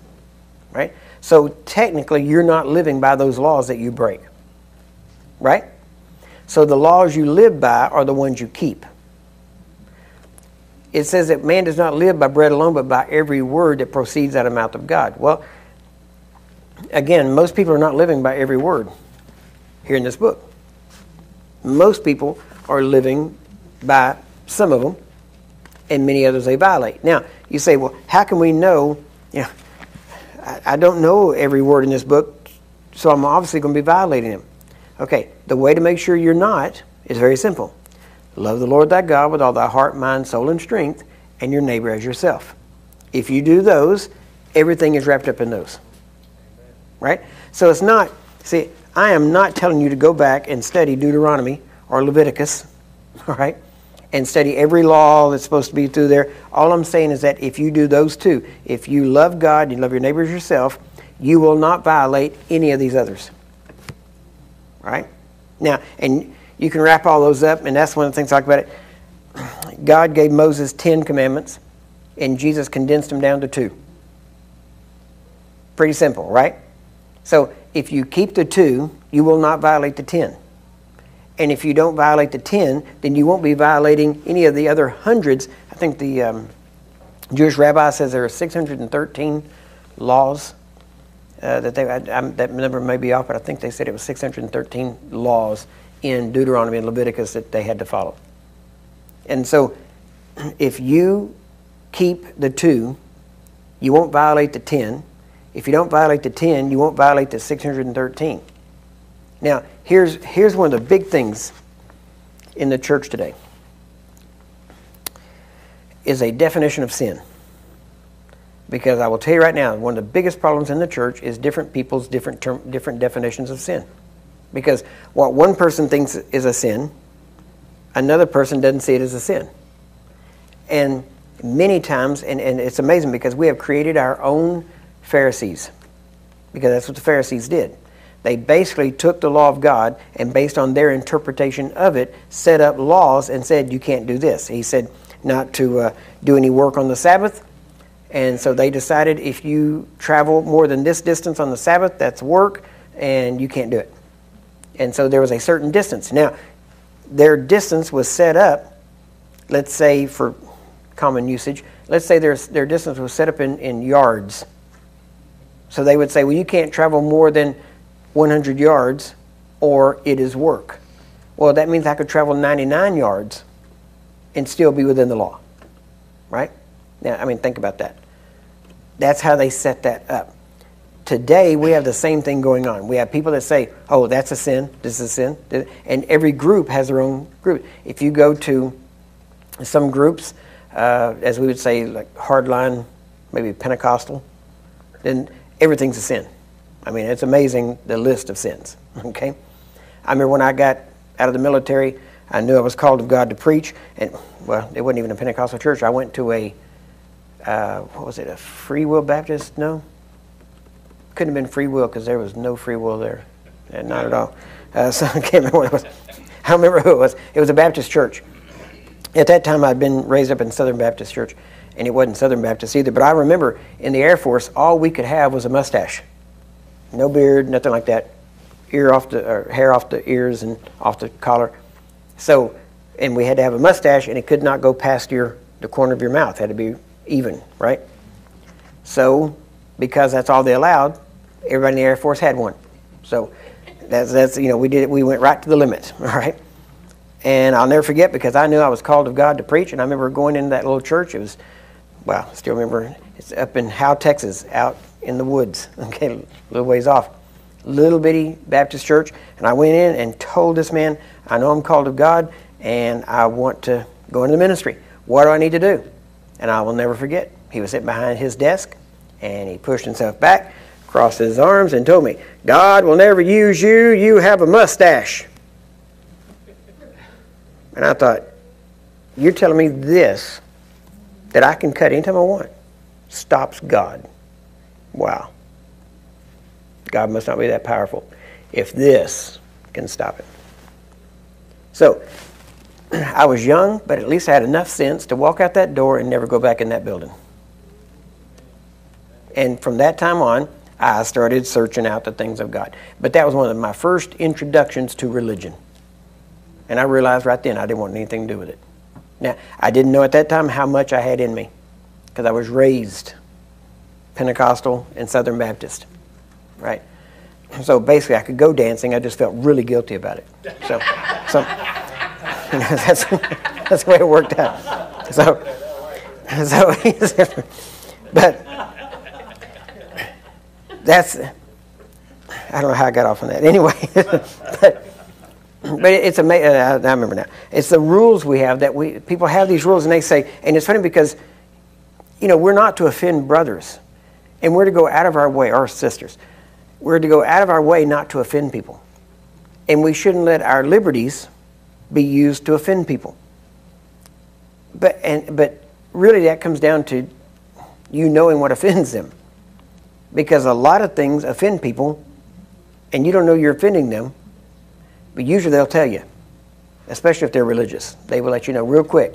You know, what you're doing is a sin. And it's funny because I've gotten to the place now where people tell me that, and I say, well, first off, your definition of sin in the Bible, you know, and, and what you say isn't what I'm going to go by. I'm going to go by what God says. Because I've been around groups where, you know, if you talk to a sinner, that's a sin. Oh, yeah. I mean, it's ridiculous. And so there is this idea of these laws that we have set up. And everybody thinks that their laws are the laws. And, be, and, and the bad part is it's only in that group. And you go to another group and it's a whole different set of laws. So whatever group you're in, you got to, you know, it's a, it's a learning process all over again to find out what their laws are. But really, when it comes down to it, if you know to love God with all your heart, mind, soul, and strength, and your neighbor as yourself, if anybody makes, as long as you're doing those two things, then you're not violating God's laws. And God's laws are the laws that count. But too often, we try to use the word sin to corral people so that they don't do what we don't want them to do. because we know they'll respond to the word sin. You know, and if we say it's sin, then they'll stop it, as opposed to going in and finding out what real sin is. Now, do I believe, you know, in living right and all that? Hopefully by now you should know that. At the same time, I also know that, especially when it comes down to certain things, if you're helping people and doing things for them, you're going to be blasted by religious people who are, think that some of the things you're going to be doing by hanging around with those people is sin. So there comes a point where you have to decide am I going to truly love God and love my neighbor, or am I going to love religion and do what it says? Because religion always leaves people hurting, it'll always leave people in bondage. It just tries to clean them up on the outside, and it doesn't change anything on the inside. So, now, the idea here, remember this, and this is why I wanted to um, get into this this morning, is that there are, and, and I, would, I would encourage you, this isn't about me telling you every detail and doing all the thinking for you. You should go home and study this out. Get your Strong's Concordance, and you don't have to go deep on this. Just open up, look up the word word, and then go down the list, and it'll have a number beside it and it'll either be 4487 or 3056, and there's actually some other words in there too, but these are the two main ones. And go through, and you would be amazed at the scriptures where the words rhema or logos is used. In James, it says, Be doers of the logos and not hearers only, which means simply you are to be doers of this, what's written here, as long as what you're doing is taken in context, right? So you don't just pull a scripture out and do it, but you find out what he's talking about and the context of the scripture. And then you do that. In other words, it's you're doing uh, back back in the military again. We used to have what was called commander's intent, and commander's intent meant that you might not always do it exactly the way it was written, but you are doing what God or what the commander wanted done. And the Logos is basically that. This is the overall intent of God. Jesus, now I was just reading this last night, as a matter of fact. If you have a uh, Wuest, Kenneth S. Wuest did a word studies, and he's actually a three volume, four volume word study. He did three volumes on word studies, and then one is a, a translation of the New Testament. It's excellent. I would highly advise anybody, if you want to do any real study, get that set. And you can get them anywhere from, I've seen them as low as $29 all the way up to $100. it's, in, in going through that, when it talks about Jesus being the Word, I wish I'd have brought it out here. I got one back in my office, so I wish I'd have grabbed it. But when it talks about Him being the Logos, it is amazing in, in John 1 1 it says, In the beginning was the Word, and Word was with God, and the Word was God. And that word, word there is Logos. And it's talking about Jesus. It said, and the Word was made flesh. Logos was made flesh. And it's not talking about a an idea. It's talking about the idea. The it's not talking about a concept of God. It's talking about the concept of God. In other words, Jesus was the perfect expression of everything that God wanted said about him, about himself. Now think about that. If you just take that and think in terms of, okay, if Jesus was the perfect, and, and I, I hope you understand, and I know you, you'll pick this up. This is so simple. You know, you'll probably be thinking, you, you took us 45 minutes to get to that. You know, we already knew that. That's why it took me 45 minutes to get you there, because you already knew it. But I want you to see it in 3D living color. I don't want it to be the same way you've seen it before. I don't want it to be just, I've read that, I've heard that, what's next? I want you to think in terms of what Jesus, who he was, and what he did. That he was the perfect expression of everything God wanted revealed about himself. Now, just think of that. All right. In other words, God's perfect or, or God's total essence. And I, I'm going right back to the original Greek here. It said that, and the Word was God. The Logos was God, and in the literal Greek means literally the Word in its basic essence was God. So everything that God wanted to reveal about Himself in His trueness, in, in other words, the, the very, the, if you want to get down to the very essence of what and who God is, then all you have to do is look at Jesus. He was the essence of it. He was the fullness of it. There is not one part. Um, if you go to Hebrews, try to get there real quick here. Go back to Hebrews and look, look at Hebrews chapter 1.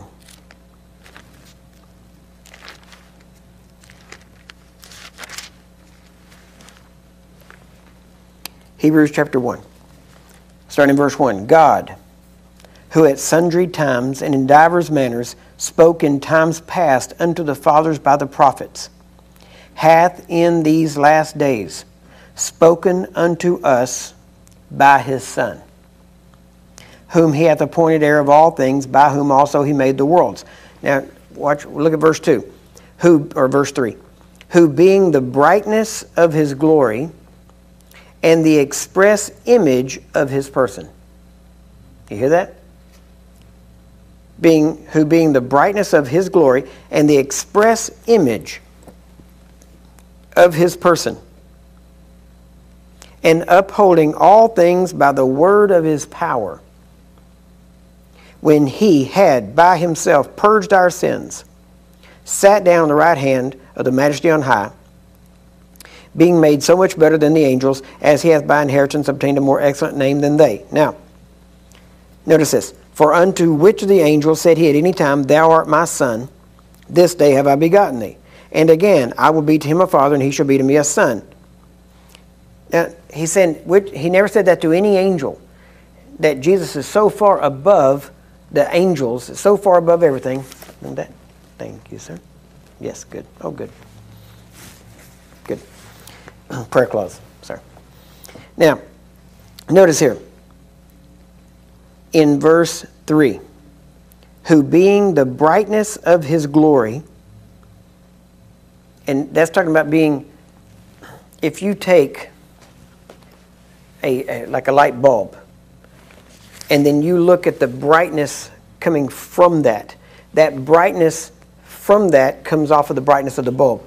Jesus, what is that? In other words, when you look at Jesus, you are seeing the reflection of God Himself right? Now, the reflection of God, it's almost like looking in a mirror. But the neat thing here is, is this next part. And the express image of his person. The word express image there literally is the Greek word character. I mean, actually, in the Greek word, it's character. The Greek word for express image there is character. And it's character icon, I think it is. And it means literally, now, the amazing thing about this, it says that Jesus is the express character of God. In other words, what Jesus showed to the world, what he expressed to the world, was the character of God. Now, you can't show, character is everything you are. You know, some people say, well, he has no character, or he is a character, right? We've heard him used both ways. What, but character isn't one facet. Character is overall who you are right? Yes. You, you either have character or you don't. I mean, well, even if you don't, you still are, right? You still have character, okay? But the, the main thing about it is that that being the character, if you know a person's character, you could predict what they'll do. And if you know a person's character, you can tell whether they did or would do something or would not. Right? As I said when I was growing up, my dad, uh, he was a policeman all my life, and he drank heavily. And at that time, he wasn't saved by any stretch.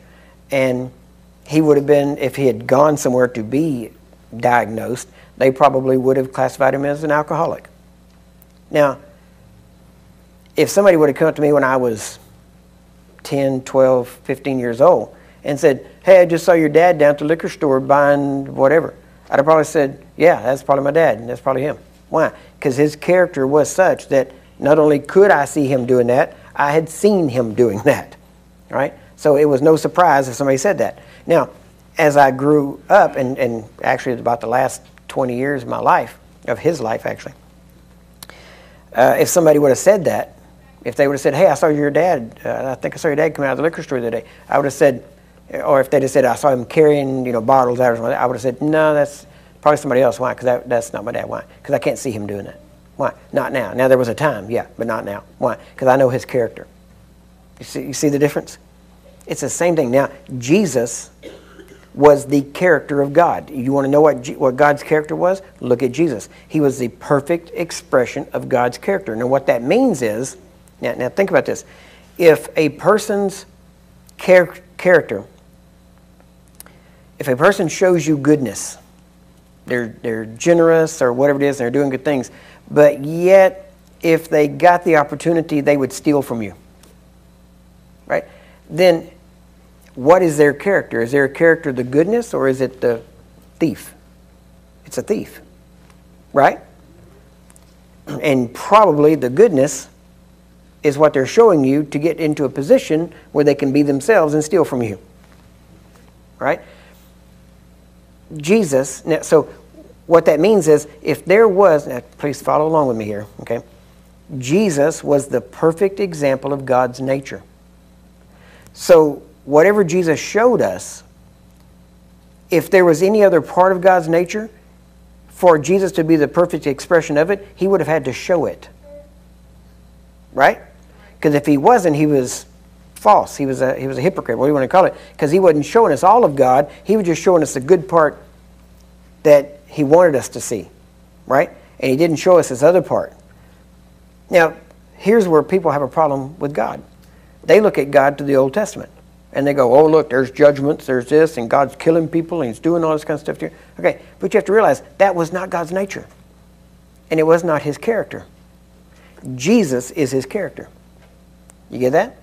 So for judgment, meaning disease and all that kind of, you know, negative judgment I'm talking about, for God to do those things, he had to, if that's part of God's nature, Jesus had to show that. If he didn't, he was hiding that part, and therefore he was not the perfect expression of God's nature. Are you with me? So the fact that Jesus never showed us that part, the fact that he never made a person blind, he never put a curse on a person. He never did any of that. Shows that that is not God's nature. You get it? Now think about that. If that is not part of God's nature, then God is not going to bring that on a person, which means if it's there, God didn't put it on them, which means if it's there, it's somebody else's nature that we're looking at. Right? Because God's nature according to what we see in Jesus, was to see a problem and remove it, not put a problem on a person. You got that? Now, this goes right back to the first session where we were talking about being single minded.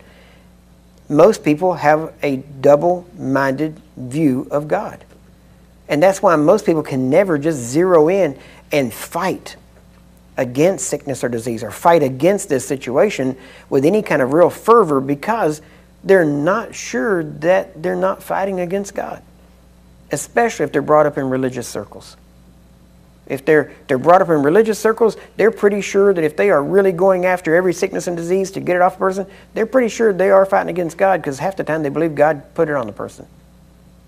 So at some point, now see, for me, and, and again, I, I don't, I don't know. Maybe I'm just too simple minded, you know?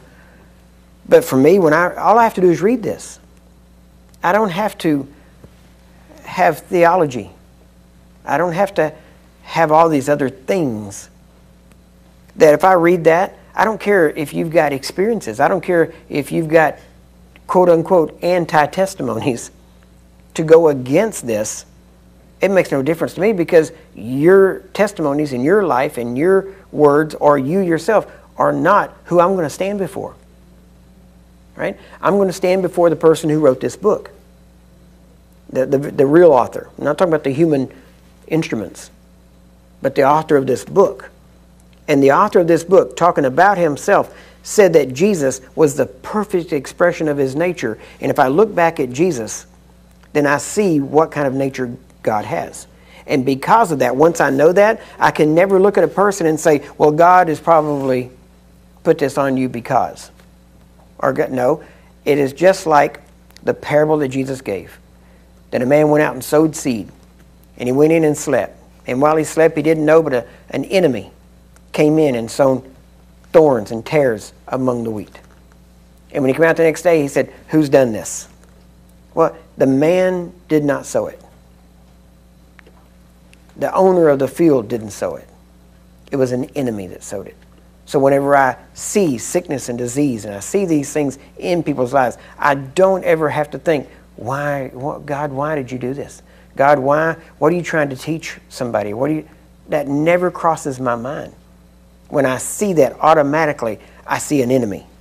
An enemy has sown this into a person's life. An enemy has come in and is trying to somehow, I don't always know, you know, the, the workings of it, but I know this. Somehow, whatever that enemy is doing is he is trying to detract from God's glory. So, when I, when I read this, now, I just said the words detract from God's glory. So let's read this last thing. We'll finish up. Verse 3 Who being the brightness of his glory. Who being the brightness of his glory. It literally, the word here means to reflect. Jesus was the perfect reflection of God's glory. That's what this is saying. Go back and look in the original Greek. It's exactly what it means. Now, in this building, I just realized we're kind of almost like a Church of Christ here. There's no windows. You ever see it? There's never windows in a Church of Christ. But anyway, never mind. Sorry. Been around religion a long time. Sorry. Um, but in this building, there's no, there's no uh, lights in here. Actually, we're a lot like Church of Christ, aren't we? No music. We, I'm just amazed. Anyway, okay, I'm sorry. Never, never mind. Not saying we agree with that. Just saying we don't have it. People step up. There we go. Till then, there we go. So, but if we turned out all the lights here, this building would be dark in here. I mean, if you turned out everything, believe me, it is dark in here. Okay, you can't see from one one side or the other at all. But if we turned off all the power in here, and then let's say we kept that door, because if I open that door right there, you, you'd have some light just from the front. But let's say we kept that door shut and all the doors are shut except that one. Okay? We got that door there, and then there's another door to the hallway. I could take mirrors.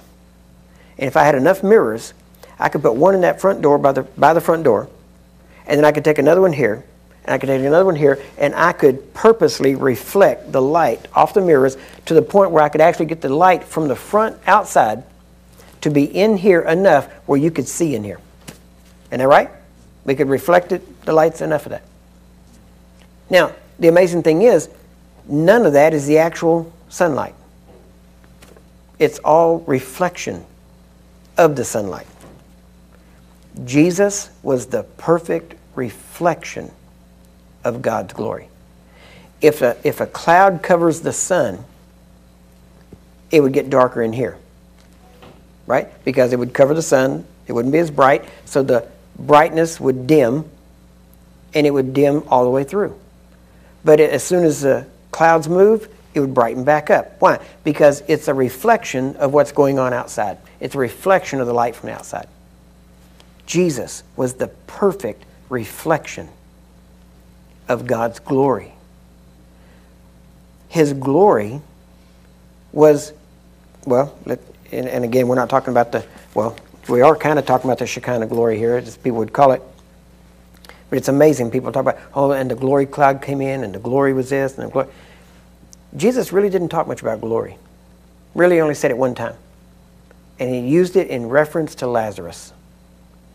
He told them, they were saying, Oh, if Jesus, if you'd have been here, my brother wouldn't have died. And even now, if you ask him, we know that God will give you whatever you ask. And he said, Didn't I tell you that if you would believe, you would see the glory of God? And right after he said that, what did he do? He raised a dead man. Why? Because Jesus was the perfect reflection of God's glory. He wasn't talking about a cloud. You know, we get hung up on cloud and gold dust and feathers and all this stuff. Jesus is, is the reflection of God's glory. And what, what was that reflection? What was the glory that Jesus had? He had healed people, dead people raised, blind eyes open. That is the reflection of God's glory. A person's glory, again, we, we have so messed this up in the church that we think the glory is this thing that, you know, a cloud or something that moves in and we get hung up on it like little children that ooh and ah over the glitter. And in reality, the glory of a king is how well he takes care of his subjects. The glory of a warrior is in how utterly he defeats his foe. And yet, we have Jesus, we have a king who is also known as the Lord of hosts. We have, we have a warrior king who absolutely, and, and in 1 Peter uh, 5 7, I think it is, where he said to cast all your care upon him, it's saying that's talking about being anxious and being not, not worrying. And it's talking about you can do that because he takes responsibility for your well being. Now, think about that. The glory of a king is how well he takes care of his subjects. Jesus was the perfect expression of God's glory, of how well God takes care of people who weren't even in right relationship with Him. People, fallen man, not even born again, subjects of another kingdom. God is so good, His glory was so great that Jesus reflected that glory that showed how God treated people that weren't even His responsibility. Think about that. That's the glory of God. Not a cloud, but just the goodness of God that absolutely takes care of anything and everything that has to do with you and in every part of your life. And think about this God has already provided for everything in your life, every detail, He has provided it. But too often, we go to another source to meet that need. And too often we tell God, Well, I need this by this time. And God says, Don't worry, I'll have it there by when you actually need it. But usually, at a security's sake, we want it 10 days before we need it. See, and why? Because we want to hedge our bets, so to speak. We want to we want a buffer zone, so that if it's not here by then, now I know to look for somebody, you know, to get it from somewhere else. And God says you don't need it till right then, and when you need it, it'll be there. See, that's the glory of God to provide for you. But if we turn and look to another source, then we have ignored the answer that God gives. But too often we want to just, we want it ahead of time, and we really don't want to have faith in God. We don't want to prove that we are relying on Him.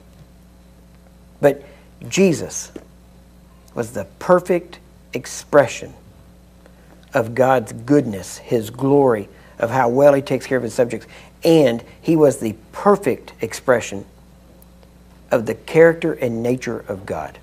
There was not one part of God's nature that Jesus hid from man. So, what we see in Jesus, we know that's God. We know that's how God thinks.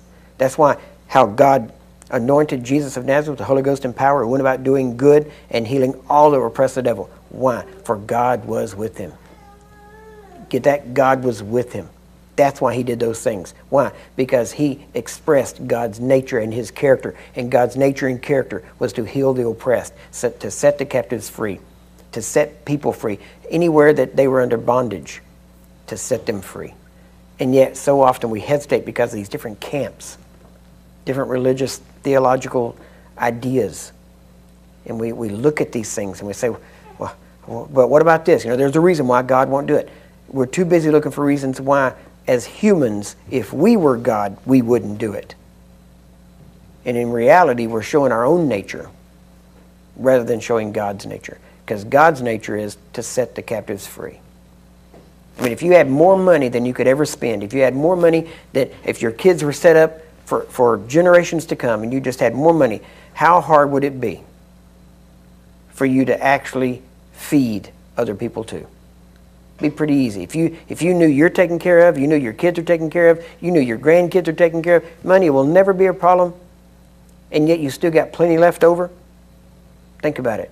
Would you just sit there and look at it, or would you actually use it to help people? Would you actually give it out to help feed the hungry and all these kind of things? Of course you would. Why? Because you're, you're taken care of. Everybody in your family is taken care of. So you'd start spreading it around. That's what God did. Not only did he take care of his family, not only did he take care of himself and his not only are they taken care of, but he's got so much left over that he even loves people and wants to help people that have nothing to do with him. Why? Because he makes the sun to shine on the just and the unjust. Pardon me. On the unjust also. He is that good. And you cannot exhaust. You know, it's one of the amazing things about Christianity that I've noticed. The more, when I go to meetings, when I'm there several days, I kind of have to watch my voice sometimes because it'll go out. Because I just I talk constantly. And then people will come up to me and say, well, you know, I, I, I don't want to, you know, just rest your voice or whatever, but uh, you know, I just want to talk to you this, and I don't want to wear you out, and I know you're probably tired all day, you know, because I stand there eight hours a day talking to people and going constantly. And well, I don't want to wear you out, and I'm like, as long as we're talking about the Bible, you don't wear me out. You pump me up. I, you can't talk about this without getting more alive. That's why I think every person ought to preach.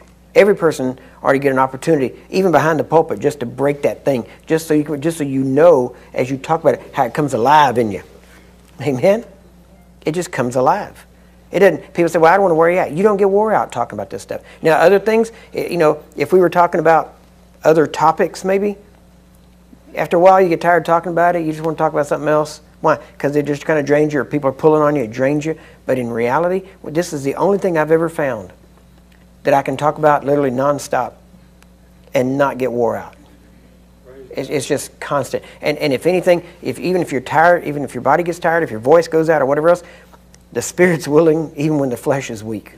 You're still wanting to talk about it. You know, even people tell you, what your, your voice sounds rough. Just just don't talk so much. Can't help it. Can't help it. You know, I, I can't write fast enough to say what I want to say, so I have to talk. Why? Because it generates inside of you. And when you look, that's the nature and the character of God. The more God gives out, the bigger he gets. The more you give out about him, the bigger he gets. People say, well, you know, you, you, you put it out. It's just like anything else in the Word of God. The more you give, the more you get. The more you talk about God, the stronger he gets in you. And it's the same thing here. The nature of God, the more God heals people, it doesn't deplete his power, it increases it. The more he heals, that's the glory of God. The more he heals, the more glory he has. Isn't that amazing? But that's how God wants you to see him. I don't have time to go into it, but I'll tell you this. I was reading scriptures last night and going back into the Greek and looking at some of the details. It's amazing. It talks about how the Word is, I'm trying to think of the actual Greek word in it, but it basically says that God in you has to be literally, the, word, the Greek word means to be unleashed. Think about that. That for God to work through you, He has to be unleashed to be all of who He really is. And when you, when you think in terms of that, how much more should we be seeing? Because to the degree that we see God, it's, that's, not to, that's not the degree He's unleashed. That's the degree He is leashed. You get it? What we see God do, that's how much, that's how long of a leash we give Him. But if we ever got Him unleashed, where He could be Himself through us, the way He was through Jesus, then they'll write books about your life, just like they did about Jesus. And then some biographer will say, matter of fact, this is just the stuff that I have time to tell you because this is already a big book. But I'll tell you, if I was going to write down everything he did, the whole world wouldn't contain the books. Why? Because he let God loose in him. He, he unleashed God in his life. It's the same thing John Wesley said. We have yet to see what God can do to the life of one man totally dedicated to God. That's who God is in you. So the key is to unleash him. It's not to, to learn to make this work so I can get my rent paid and so I can get you know my, my car filled with gas. Or, no, it's about unleashing God so that He can be loosed to bring more glory to Himself. Has nothing to do with us or ministry or anything else. We just have to get our minds off of that and think about unleashing God. Amen? Amen. All right, let's all stand up. Now, I will be glad to minister to you, but first, we're going to do this. This is an exercise, right? So, first I'll pray. Father, I thank you for this day. I thank you that we can come together and gather together under the banner of the name of your Son, Jesus Christ of Nazareth, and that He is Lord of all. And Father, I thank you right now that we are born of His Spirit, that His Spirit lives within us, and because of that, He is with us and we are with Him. And Father, I thank you that we are joint heirs with Christ, and because of that, whatever He has received, we also have. So, in Jesus' name, right now, I thank you for that, and we receive the fullness. And God, right now, we, we agree to unleash you and let you be you so that the world can see you. Amen. In Jesus' name. Amen. Amen. Now, while we're here, say this with me. Say, I am, I am. A, new creation. a new creation. I'm born of God. Born, of God. born, again. born again. Born of His Spirit. Of his Spirit. Filled with His Spirit. With his Spirit. I, speak to myself. Speak to myself. In psalms, in psalms hymns, hymns, and spiritual songs. Spiritual songs. I build myself up on my most holy faith, praying in the Holy Ghost. I pray always, giving thanks, for all things, in the will of God. And Father, I am, your son, or daughter, as the case may be, and I am, filled with your spirit. I'm healed. I'm whole.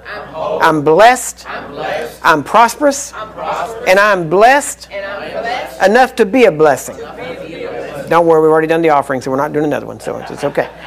And right now, Father, I thank you that the fullness of your Spirit, the fullness of yourself, dwells in me because Jesus dwells in me. And I am a habitation of the Spirit of God through the Spirit. And because the Spirit lives in me, you live in me, Father. Together, we are one. Father, Son, Holy Ghost, and family. Father, I thank you. We are seated together with you, with your Son, in heavenly places. I thank you that I am blessed with every spiritual blessing in heavenly places. In Jesus' name. That is a fact. It's the Word of God. It is truth. And it is true in me. And I thank you, Father, that I'm living proof that you are a God that keeps His Word. In Jesus' name. Amen. Amen. All right. Well, God bless y'all we yeah move around. Half of you probably got healed right then, didn't even know it. So, but be, move around a bit. Uh, if there, if I mention some of those things on the table back there, and you want to go back there and they're there, go ahead and go back and grab them. And uh, if there's anything else we can do for you, I'll be glad to talk with you before we leave. We will get to you and uh, get out of there. so, all right, we'll we, will we will see y'all next week. Uh, those that are watching by internet, we bless you. And we'll see you next week. Again, if you have any questions, write them into us, email us, and we'll be glad to get to your questions. So God bless y'all. See you next week. Praise God.